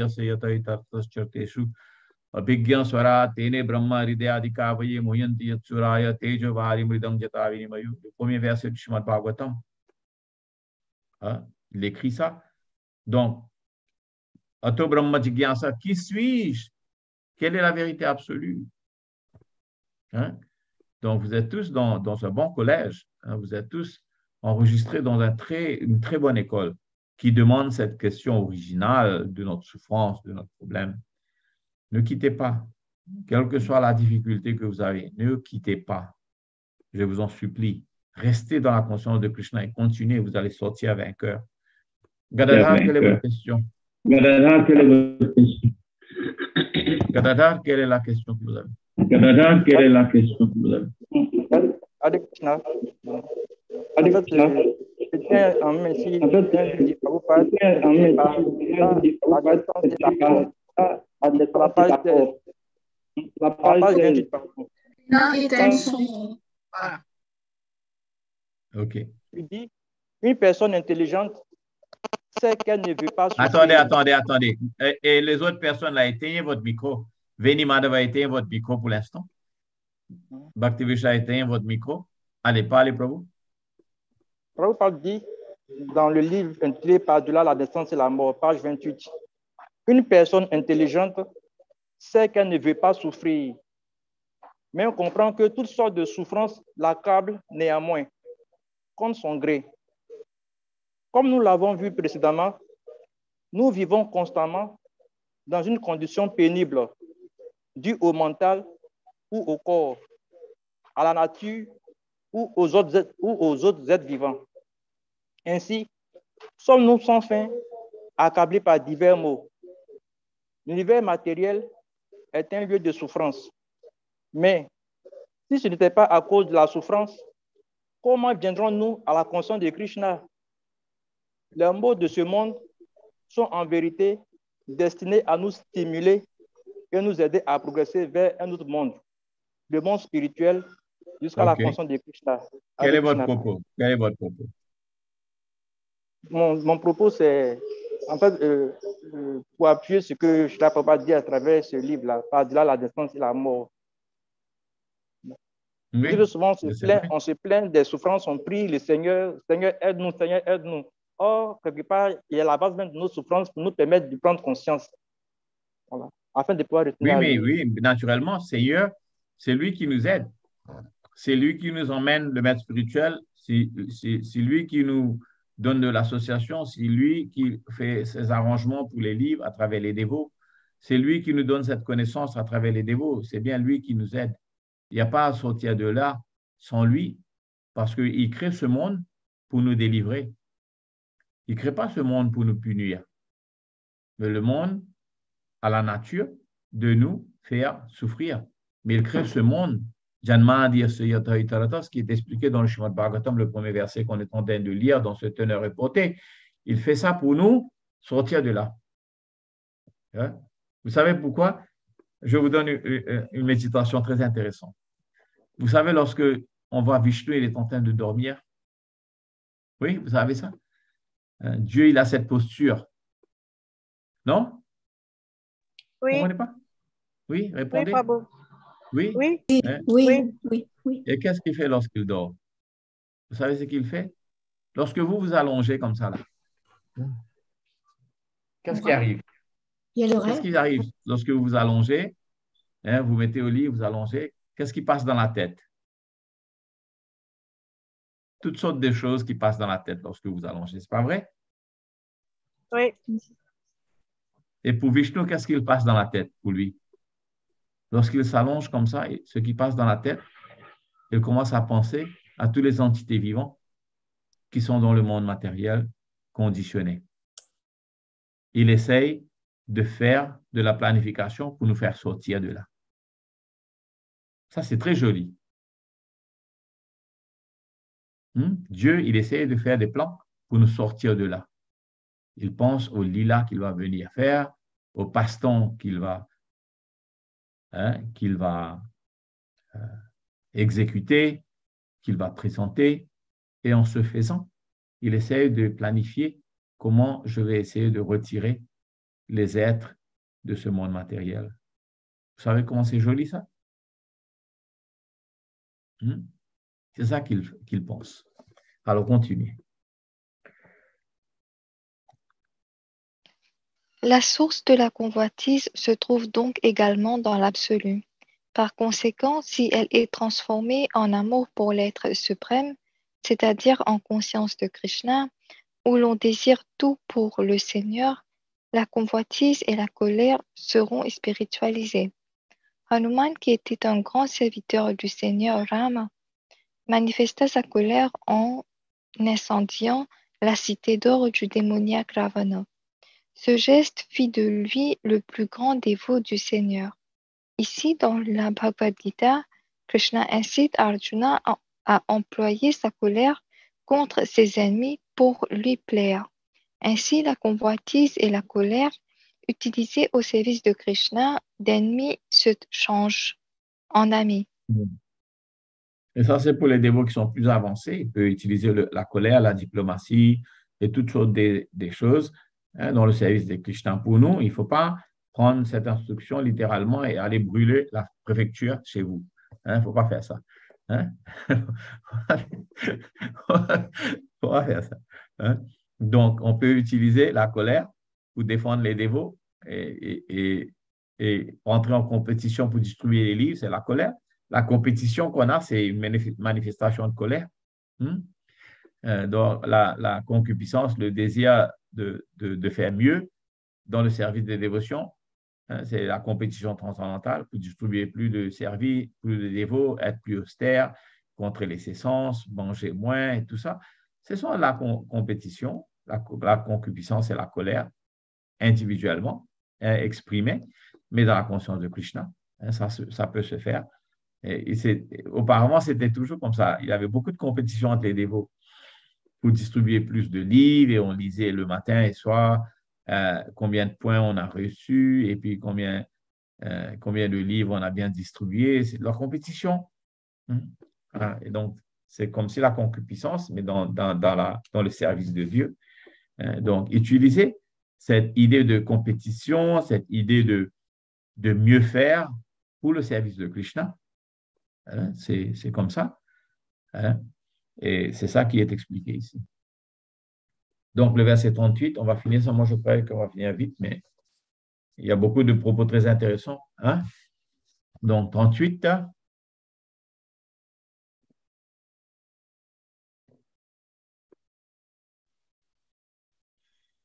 Une autre personne peut lire? Avanarada, vous pouvez lire? Je ne demande pas aux dévots de l'Afrique parce qu'il y a en résonance dans la lecture. On comprend mal, vous m'excusez. Allez.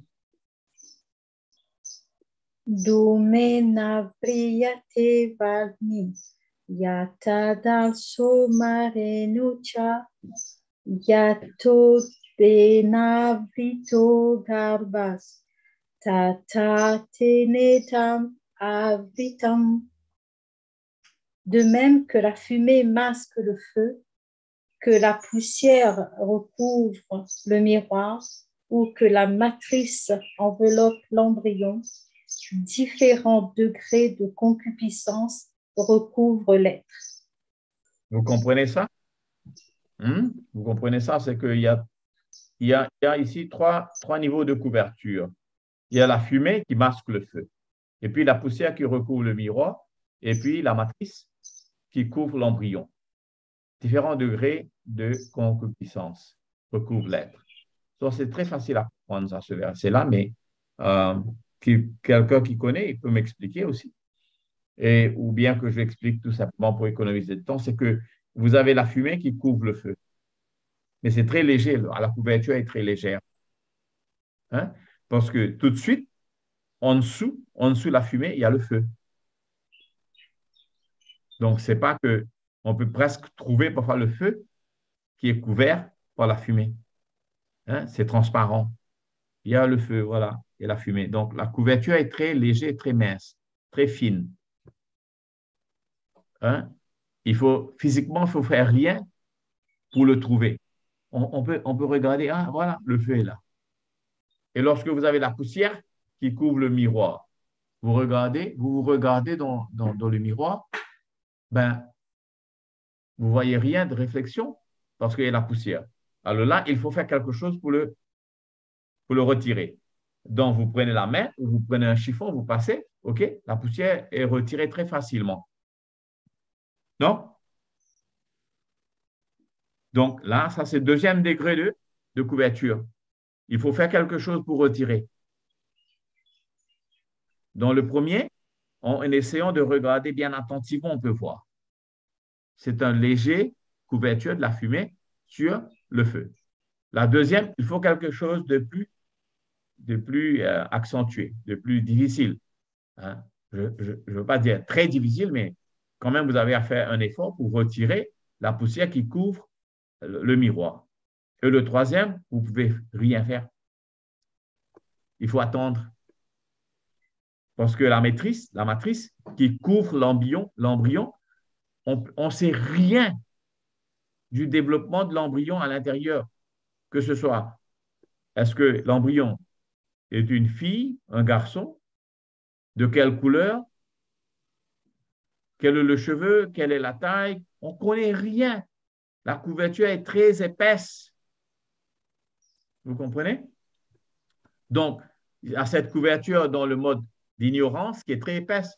La couverture dans la mode de passion est assez épais, mais on peut retirer. Et la couverture dans la mode de bonté, en faisant un effort, on peut retirer. Très simple effort.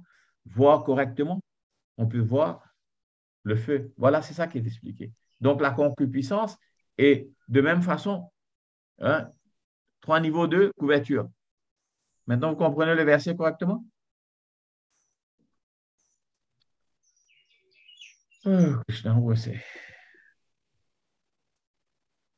Hein?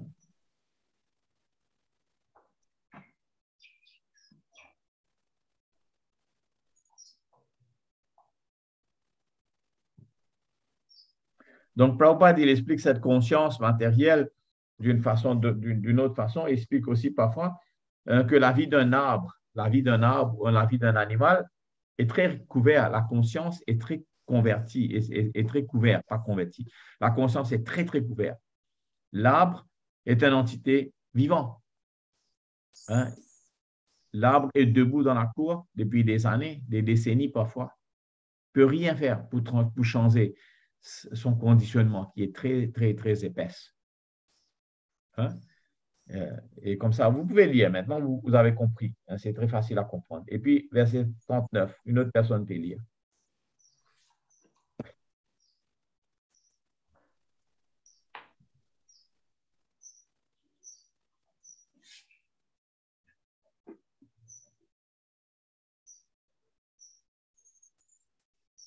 Allez-y, quelqu'un. Je vais essayer, Prabhu. Hare Krishna. Avritam Gyanam Etena Gyanino Nityaverina Kamarupena Konteya Dushpurena Narena Cha. C'est ainsi, ô fils de Kunti, que la conscience pure de l'être connaissant devient voilée par son ennemi éternel, l'insatiable désir qui flambe comme le feu. Vous comprenez ça? C'est déjà expliqué. C'est donc la conscience, the consciousness, which is pure, the original pure consciousness, hein, l'original pure conscience est maintenant voilée. Hein, la conscience est voilée ou la conscience est contaminée. On peut dire la conscience est contaminée, la conscience est voilée, ce n'est pas une grande différence. Qui par l'ennemi éternel qui est nommé comme étant la concupiscence. Hein? Et donc, ce désir, le karma, la concupiscence matérielle, hein, il, vous donne cette conscience matérielle. L'âme étant pure, la conscience est symptôme de l'âme, et puis cette conscience est contaminée. L'âme conditionnée a une conscience contaminée, et cette conscience contaminée hein, est voilée, est comme si une conscience voilée et contaminé comment? Contaminé par la concupiscence matérielle. C'est la même chose, décrit d'une autre façon. Hein. Et donc, il forme comme le feu. Et le plus qu'on essaye de satisfaire ce désir, cette concupiscence, le plus que ça augmente en férocité. Hmm? Et Prabhupada donne l'exemple. Euh, vous avez une désert matériel, vous essayez de l'accomplir, il va vous donner encore plus de désert matériel. Il hein, vaut mieux le contrôler. Hein. C'est comme le feu. Hein, le, feu, le feu est très violent, le, feu est, très grand. Euh, et puis, vous essayez de mettre de, fuel, hein, de la fuel dans le feu, et ça va grandir, et puis ça va consommer plus de, de pétrole ou d'essence. Donc, c'est la même chose. Verset 40. Indriyani manobuddhir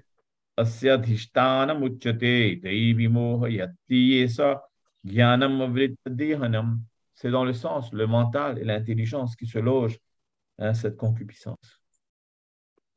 Donc, cette concupiscence matérielle, le désir de jouir matériellement est logé dans le mental et dans l'intelligence contaminée. Hein?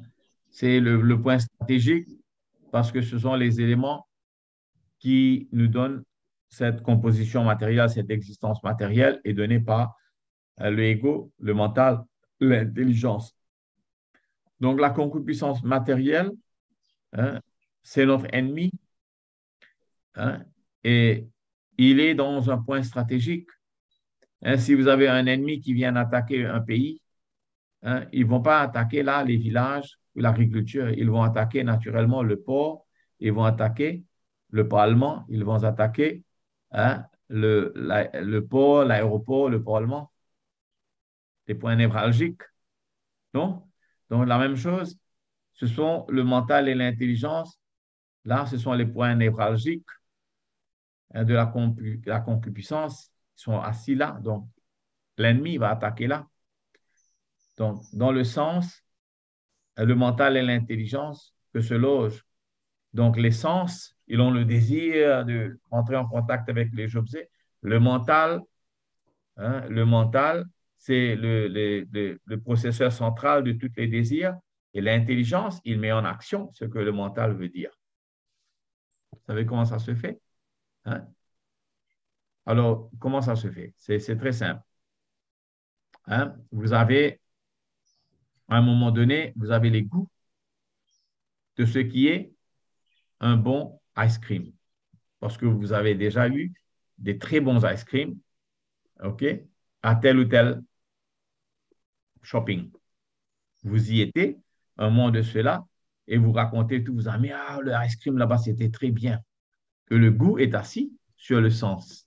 Déjà, vous avez une idée de c'est quoi de manger cet ice cream qui est délicieux. Alors, le désir, ça vient du sens et maintenant c'est entériné, est emmagasiné dans le mental.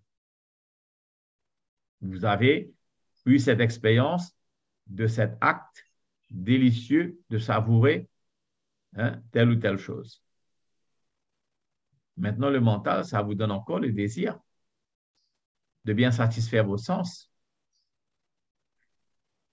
Hein. Et si vous écoutez le mental, hein, et qui va être l'exécuteur pour vous fournir encore une fois ce ice cream? Qui va exécuter ce désir-là? C'est très scientifique cette question. La conscience? L'intelligence? L'intelligence. L'intelligence est l'exécuteur. L'intelligence va vous dire, Gopali, L'intelligence va vous dire, Gopali, essayez de rentrer dans la voiture, prenez de l'argent avec vous et allez dans cette direction. Et Gopali, avec la conscience contaminée, naturellement, Gopali, elle est pure, mais dans un scénario, hein, avec l'intelligence, avec la contamination matérielle, avec la convoitise de la scrim dans le cœur, vont prendre son porte-monnaie, prendre la clé, entrer dans la voiture et diriger vers le shopping où il y a Ice Cream, c'est l'intelligence qui fait l'exécution. Hein? Et donc, l'intelligence a ce désir, hein? le mental a ce désir, le sens a déjà eu l'expérience de ces désirs et l'intelligence met en action. Et puis, euh, la, contamination hein, de la conscience continue, bel et bien. C'est la fête Hein, pour l'essence, pour... et c'est tout, ça est fait dans l'illusion euh, d'un film cinématographique qu'on regarde dans un movie. Et le, le, témoin de tout ça, c'est l'âme spirituelle, meurtrie. Il n'a pas envie de tout ça, lui. Mais il n'a pas de choix maintenant. C'est l'âme conditionnée. Hein? C'est bien, non? C'est un très bon scénario. Donc voilà. Vous vous sentez tous déprimés aujourd'hui. Pourquoi? Hein? Parce qu'on est tellement triste. Hein? On est tellement attristé pour, pour cet acte de désespéré qu'on a fait une fois et puis voilà, on est maintenant tous meurtris. Hmm. Mais là, non, il faut être encouragé parce que vous êtes dans le collège, là où vous, êtes dans une école, vous êtes dans, la conscience de Krishna, où tout ça peut se défaire maintenant. Hein? Et on a compassion avec les gens qui ne sont pas dans la classe, qui ne sont pas là, qui ne sont pas dans la conscience de Krishna, qui ne comprennent pas ça. Ils continuent à faire hein, cette bêtise. Hmm? Donc voilà, 41. Tasmatam indriyani yado niyamya bharatarshava papmanam yenam gyana vigyana nashanam. Arjuna aussi, au meilleur des Bharata. Aussi Arjuna, au meilleur des Bharata, commence par enrayer le fleuve de sa concupiscence, symbole même du péché, en disciplinant tes sens. Écrase le destructeur de la connaissance de la réalisation spirituelle. Donc, il faut d'abord contrôler le sens. Ça, on peut faire on peut contrôler les sens parce que les sens, ils agissent extérieurement et essayent de communiquer avec les objets de sens. Hein? La langue veut goûter hein? le, plaisir hein, de, des bons Les yeux veulent rentrer en contact avec des choses qui sont intéressantes à voir. La peau et le sexe essayent de communiquer avec le sens du plaisir avec le, sexe opposé, il ne faut pas se laisser faire. Et c'est très simple. Hein. D'une façon, c'est très simple. Donc, pour enrayer le fleuve de la concupiscence, symbole même du péché, en disciplinant les sens, bien contrôler ses sens, et c'est très facile. Si vous regardez, si vous disciplinez les sens, vous savez, le, premier verset qu'on a lu, les 35, il ne faut pas être trop dur avec les sens. Il faut donner quelque chose Hein, qui est purifiant. Parce que le goût pour le plaisir, c'est dans le sens. Donc, manger du bon prachat, c'est très bien. Hein, habiller honnêtement et correctement, ça vous fait plaisir, c'est très bien. Hein, mais n'allez pas dépenser tout votre argent sur les saris ou les, les, robes ou bien, je ne sais pas quoi encore pour les hommes, des, chaussures de, comment dire, des chaussures de, de marque Hmm? Hein? Ou bien les parfums hein, des marques. Il ne faut pas tout ça. Donc, il faut suffisamment de plaisir de sens dans la conscience de Krishna, mais pas à l'extrême où ça vous fait euh, contaminer. Donc voilà, c'est très bien expliqué ici. Je crois que ça suffirait. Donc ça écrase la connaissance et la réalisation spirituelle. Il ne faut pas se laisser emporter. Et Srila Prabhupada, il emmène cette question ici.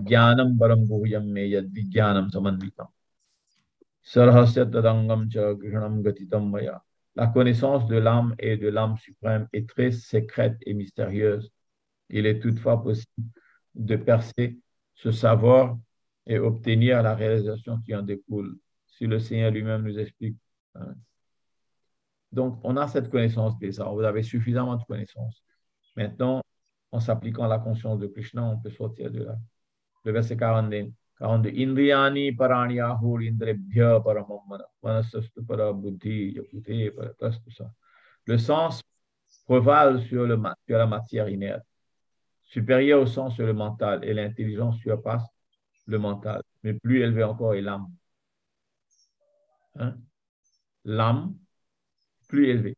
Donc, il faut comprendre qu'on peut contrôler, nous, les sens. Et en contrôlant le sens, le mental va être contrôlé.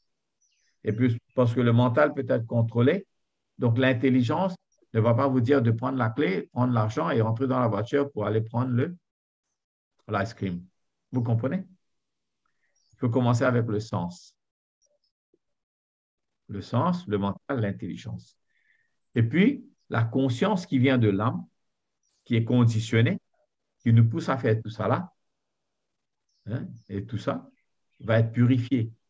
Et la conscience matérielle qui va être légèrement purifiée va devenir plus de plus conscient de Krishna.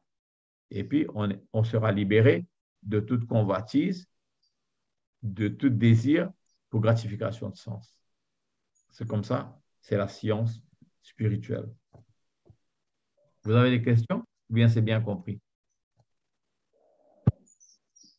Vous avez la main levée, Anishta? Non, non, ce n'est pas vous. OK.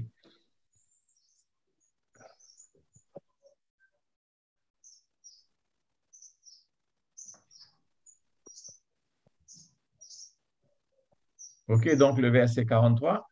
Donc, on connaît que le soi, l'âme spirituelle, au-delà des sens, au-delà de mental, au-delà de l'intelligence matérielle.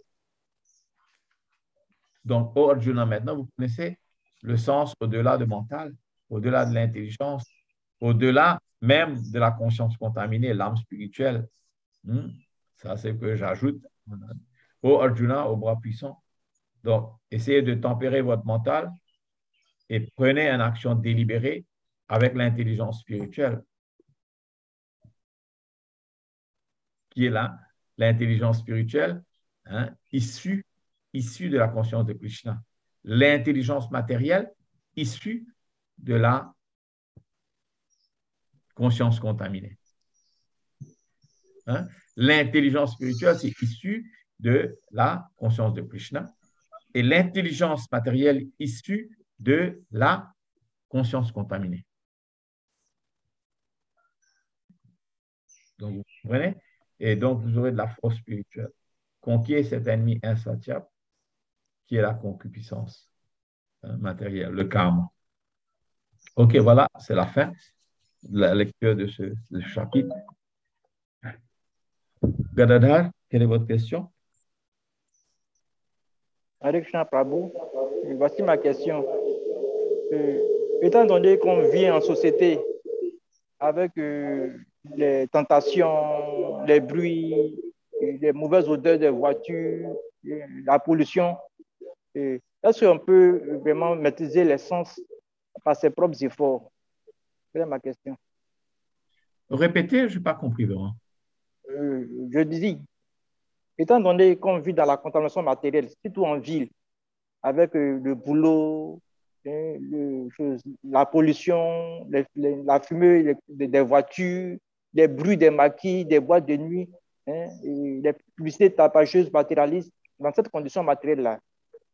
Quel concept peut donner un de vous qui tient à maîtriser ses sens, malgré qu'il vit en vie dans toutes ces conditions, ces pollutions euh, Se lever tôt le matin et prendre euh, un vaccin, le 16 12 de Japon correctement.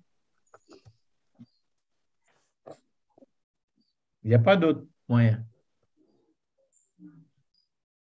on est bien, on est bien, euh, euh, on, est bien protégé par ce vaccin de 16 tours de Japa, avec beaucoup d'humilité, de s'asseoir auprès de Tulsi et de chanter Hare Krishna, Hare Krishna, Krishna Krishna, Hare Hare, Hare Rama, Hare Rama, Rama Rama, Hare Hare.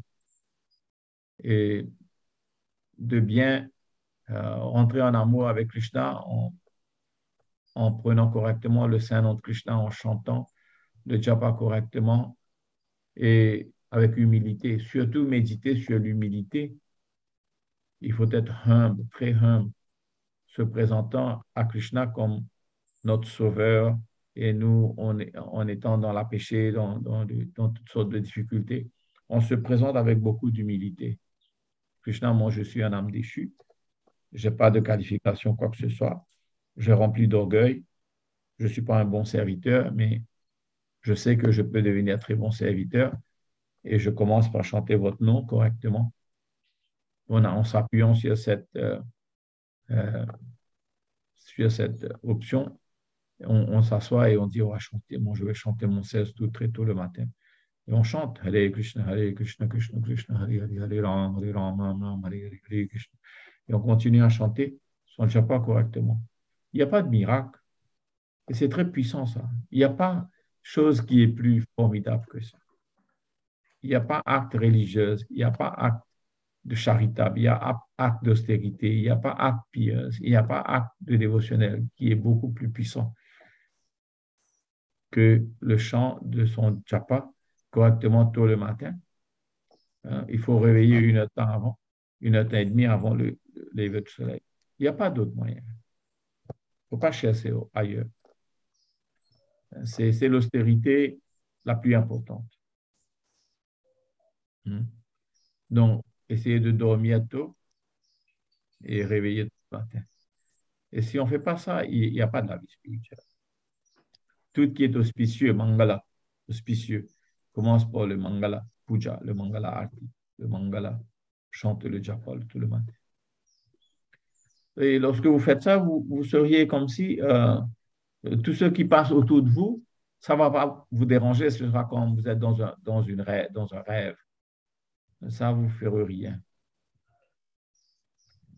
C'est vrai. Je vous parle de votre expérience. Si jamais je suis assis dans un restaurant avec, auparavant c'était avec mes enfants, ils ne sont pas là maintenant, mais ça, me dérangeait énormément. C'est quoi ça? Où je suis? C'est quoi ça? Ça me disait rien. Parce que on est, on est dans, dans la réalité. Euh, donc, euh, si vous êtes assis dans une salle de cinéma et, vous êtes confortable, là, ça, c'est pas correct. Faut pas être, parce que ça, dans l'illusion, on peut pas être correct. C'est le seul moyen pour vous.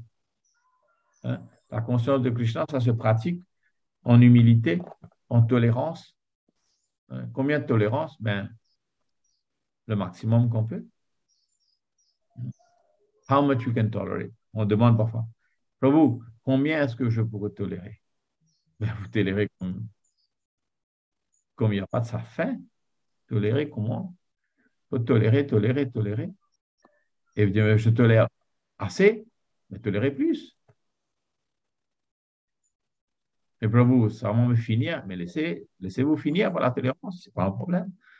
Faut tolérer, tolérer, tolérer. Il faut être humble, il faut chanter le Saint-Nom de Krishna. Il faut tolérer toutes sortes de choses.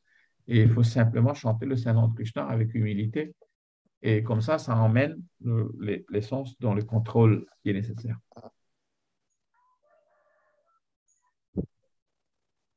OK, d'autres questions?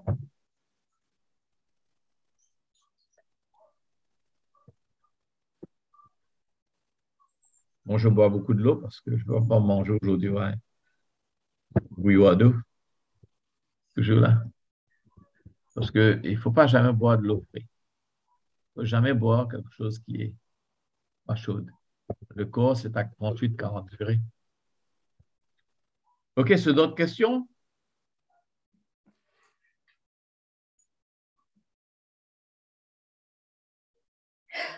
ce qu'on vous a parlé, si vous n'avez pas 100% compris, ben, c'est parce que cette connaissance-là, c'est très sublime. C'est légèrement euh, au-dessus de ce que je devais vous dire, mais ça va être entériné au fur et à mesure que vous progressez dans la vie spirituelle. Ça va, ça va devenir la réalisation et vous allez comprendre. Mais les données de base sont déjà dans le livre et j'ai bien essayé d'expliquer le mieux que je peux. Mais c'est un très bon chapitre. Hein? le centre de ce chapitre, c'est toujours le sacrifice des sens, le sacrifice de nos actions, le sacrifice de nos actes, hein, le sacrifice, le sacrifice et le sacrifice de nos actes. Mais le sacrifice, ce n'est pas forcément difficile, c'est le sacrifice qui est fait pour le plaisir de Dieu, ça nous fait plaisir aussi. Ce n'est pas tellement difficile. OK? Hare Krishna. OK? On laisse là. Demain, ce qu'on va faire, on va essayer de... Euh, on a fait euh, l'exercice pour le premier chapitre seulement, la question-réponse. Le chapitre 2, on a fait? Oui, on a fait. Vous avez fait, on a fait ensemble aussi? OK. Donc, euh, est-ce que vous aurez le temps pour compléter le chapitre 3, euh, les, questions-réponses? Combien de questions-réponses il y a dedans?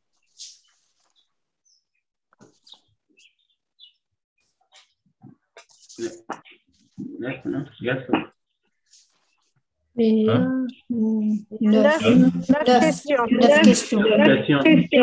Neuf questions. C'est tout? Il n'y a que neuf questions? C'est tout? Il n'y a que neuf questions? Non, mais dans une question, il y a. dans une question, il y a sept, questions. Sept questions. Je pense que lui devant moi. Je pense que lui devant moi.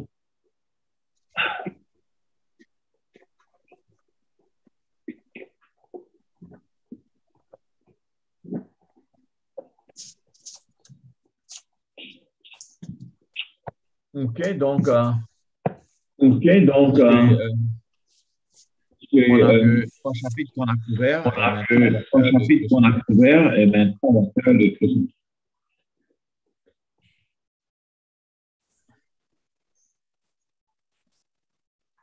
Il faut muer. Et, et puis, on va, donc, on va commencer. On, on peut faire ça pour une, une demi-heure demain? Est-ce que vous aurez le temps de compléter avant? Il faut compléter parce que moi, je ne veux pas entrer de- là-dedans si vous n'avez pas complété. Peut-être honnête Travailler. avec moi. hein, Je sais. Bon, on a- on déjà Oui, travaillé. c'est fait. Fait, pas bon. C'est fait. Donc, OK, on va entrer dans la discussion demain. Je ne sais pas quelles sont les questions, mais on va voir ensemble. Et puis demain, on va compléter ça et puis on va commencer avec le chapitre 4. OK? Euh,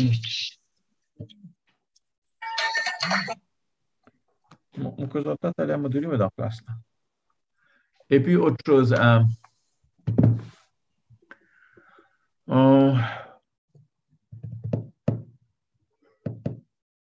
Dimanche prochain, c'est quelle date là?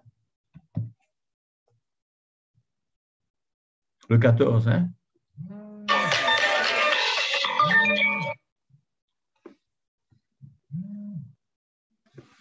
Dimanche 14, pour, pour- pour- j'ai un programme. euh, donc, euh, le programme sera à 4 heures. Donc, euh, est-ce que ce sera possible pour nous de, finir à 7 heures? Donc, la classe, donc, ce sera, la classe de samedi sera la même chose, euh, c'est-à-dire à 1 heure, on commence à, à, à 13h30 et on finisse à. Est-ce que ce- ça sera possible pour le dimanche aussi, dimanche prochain? Mais une fois qu'on a un programme. Pardon?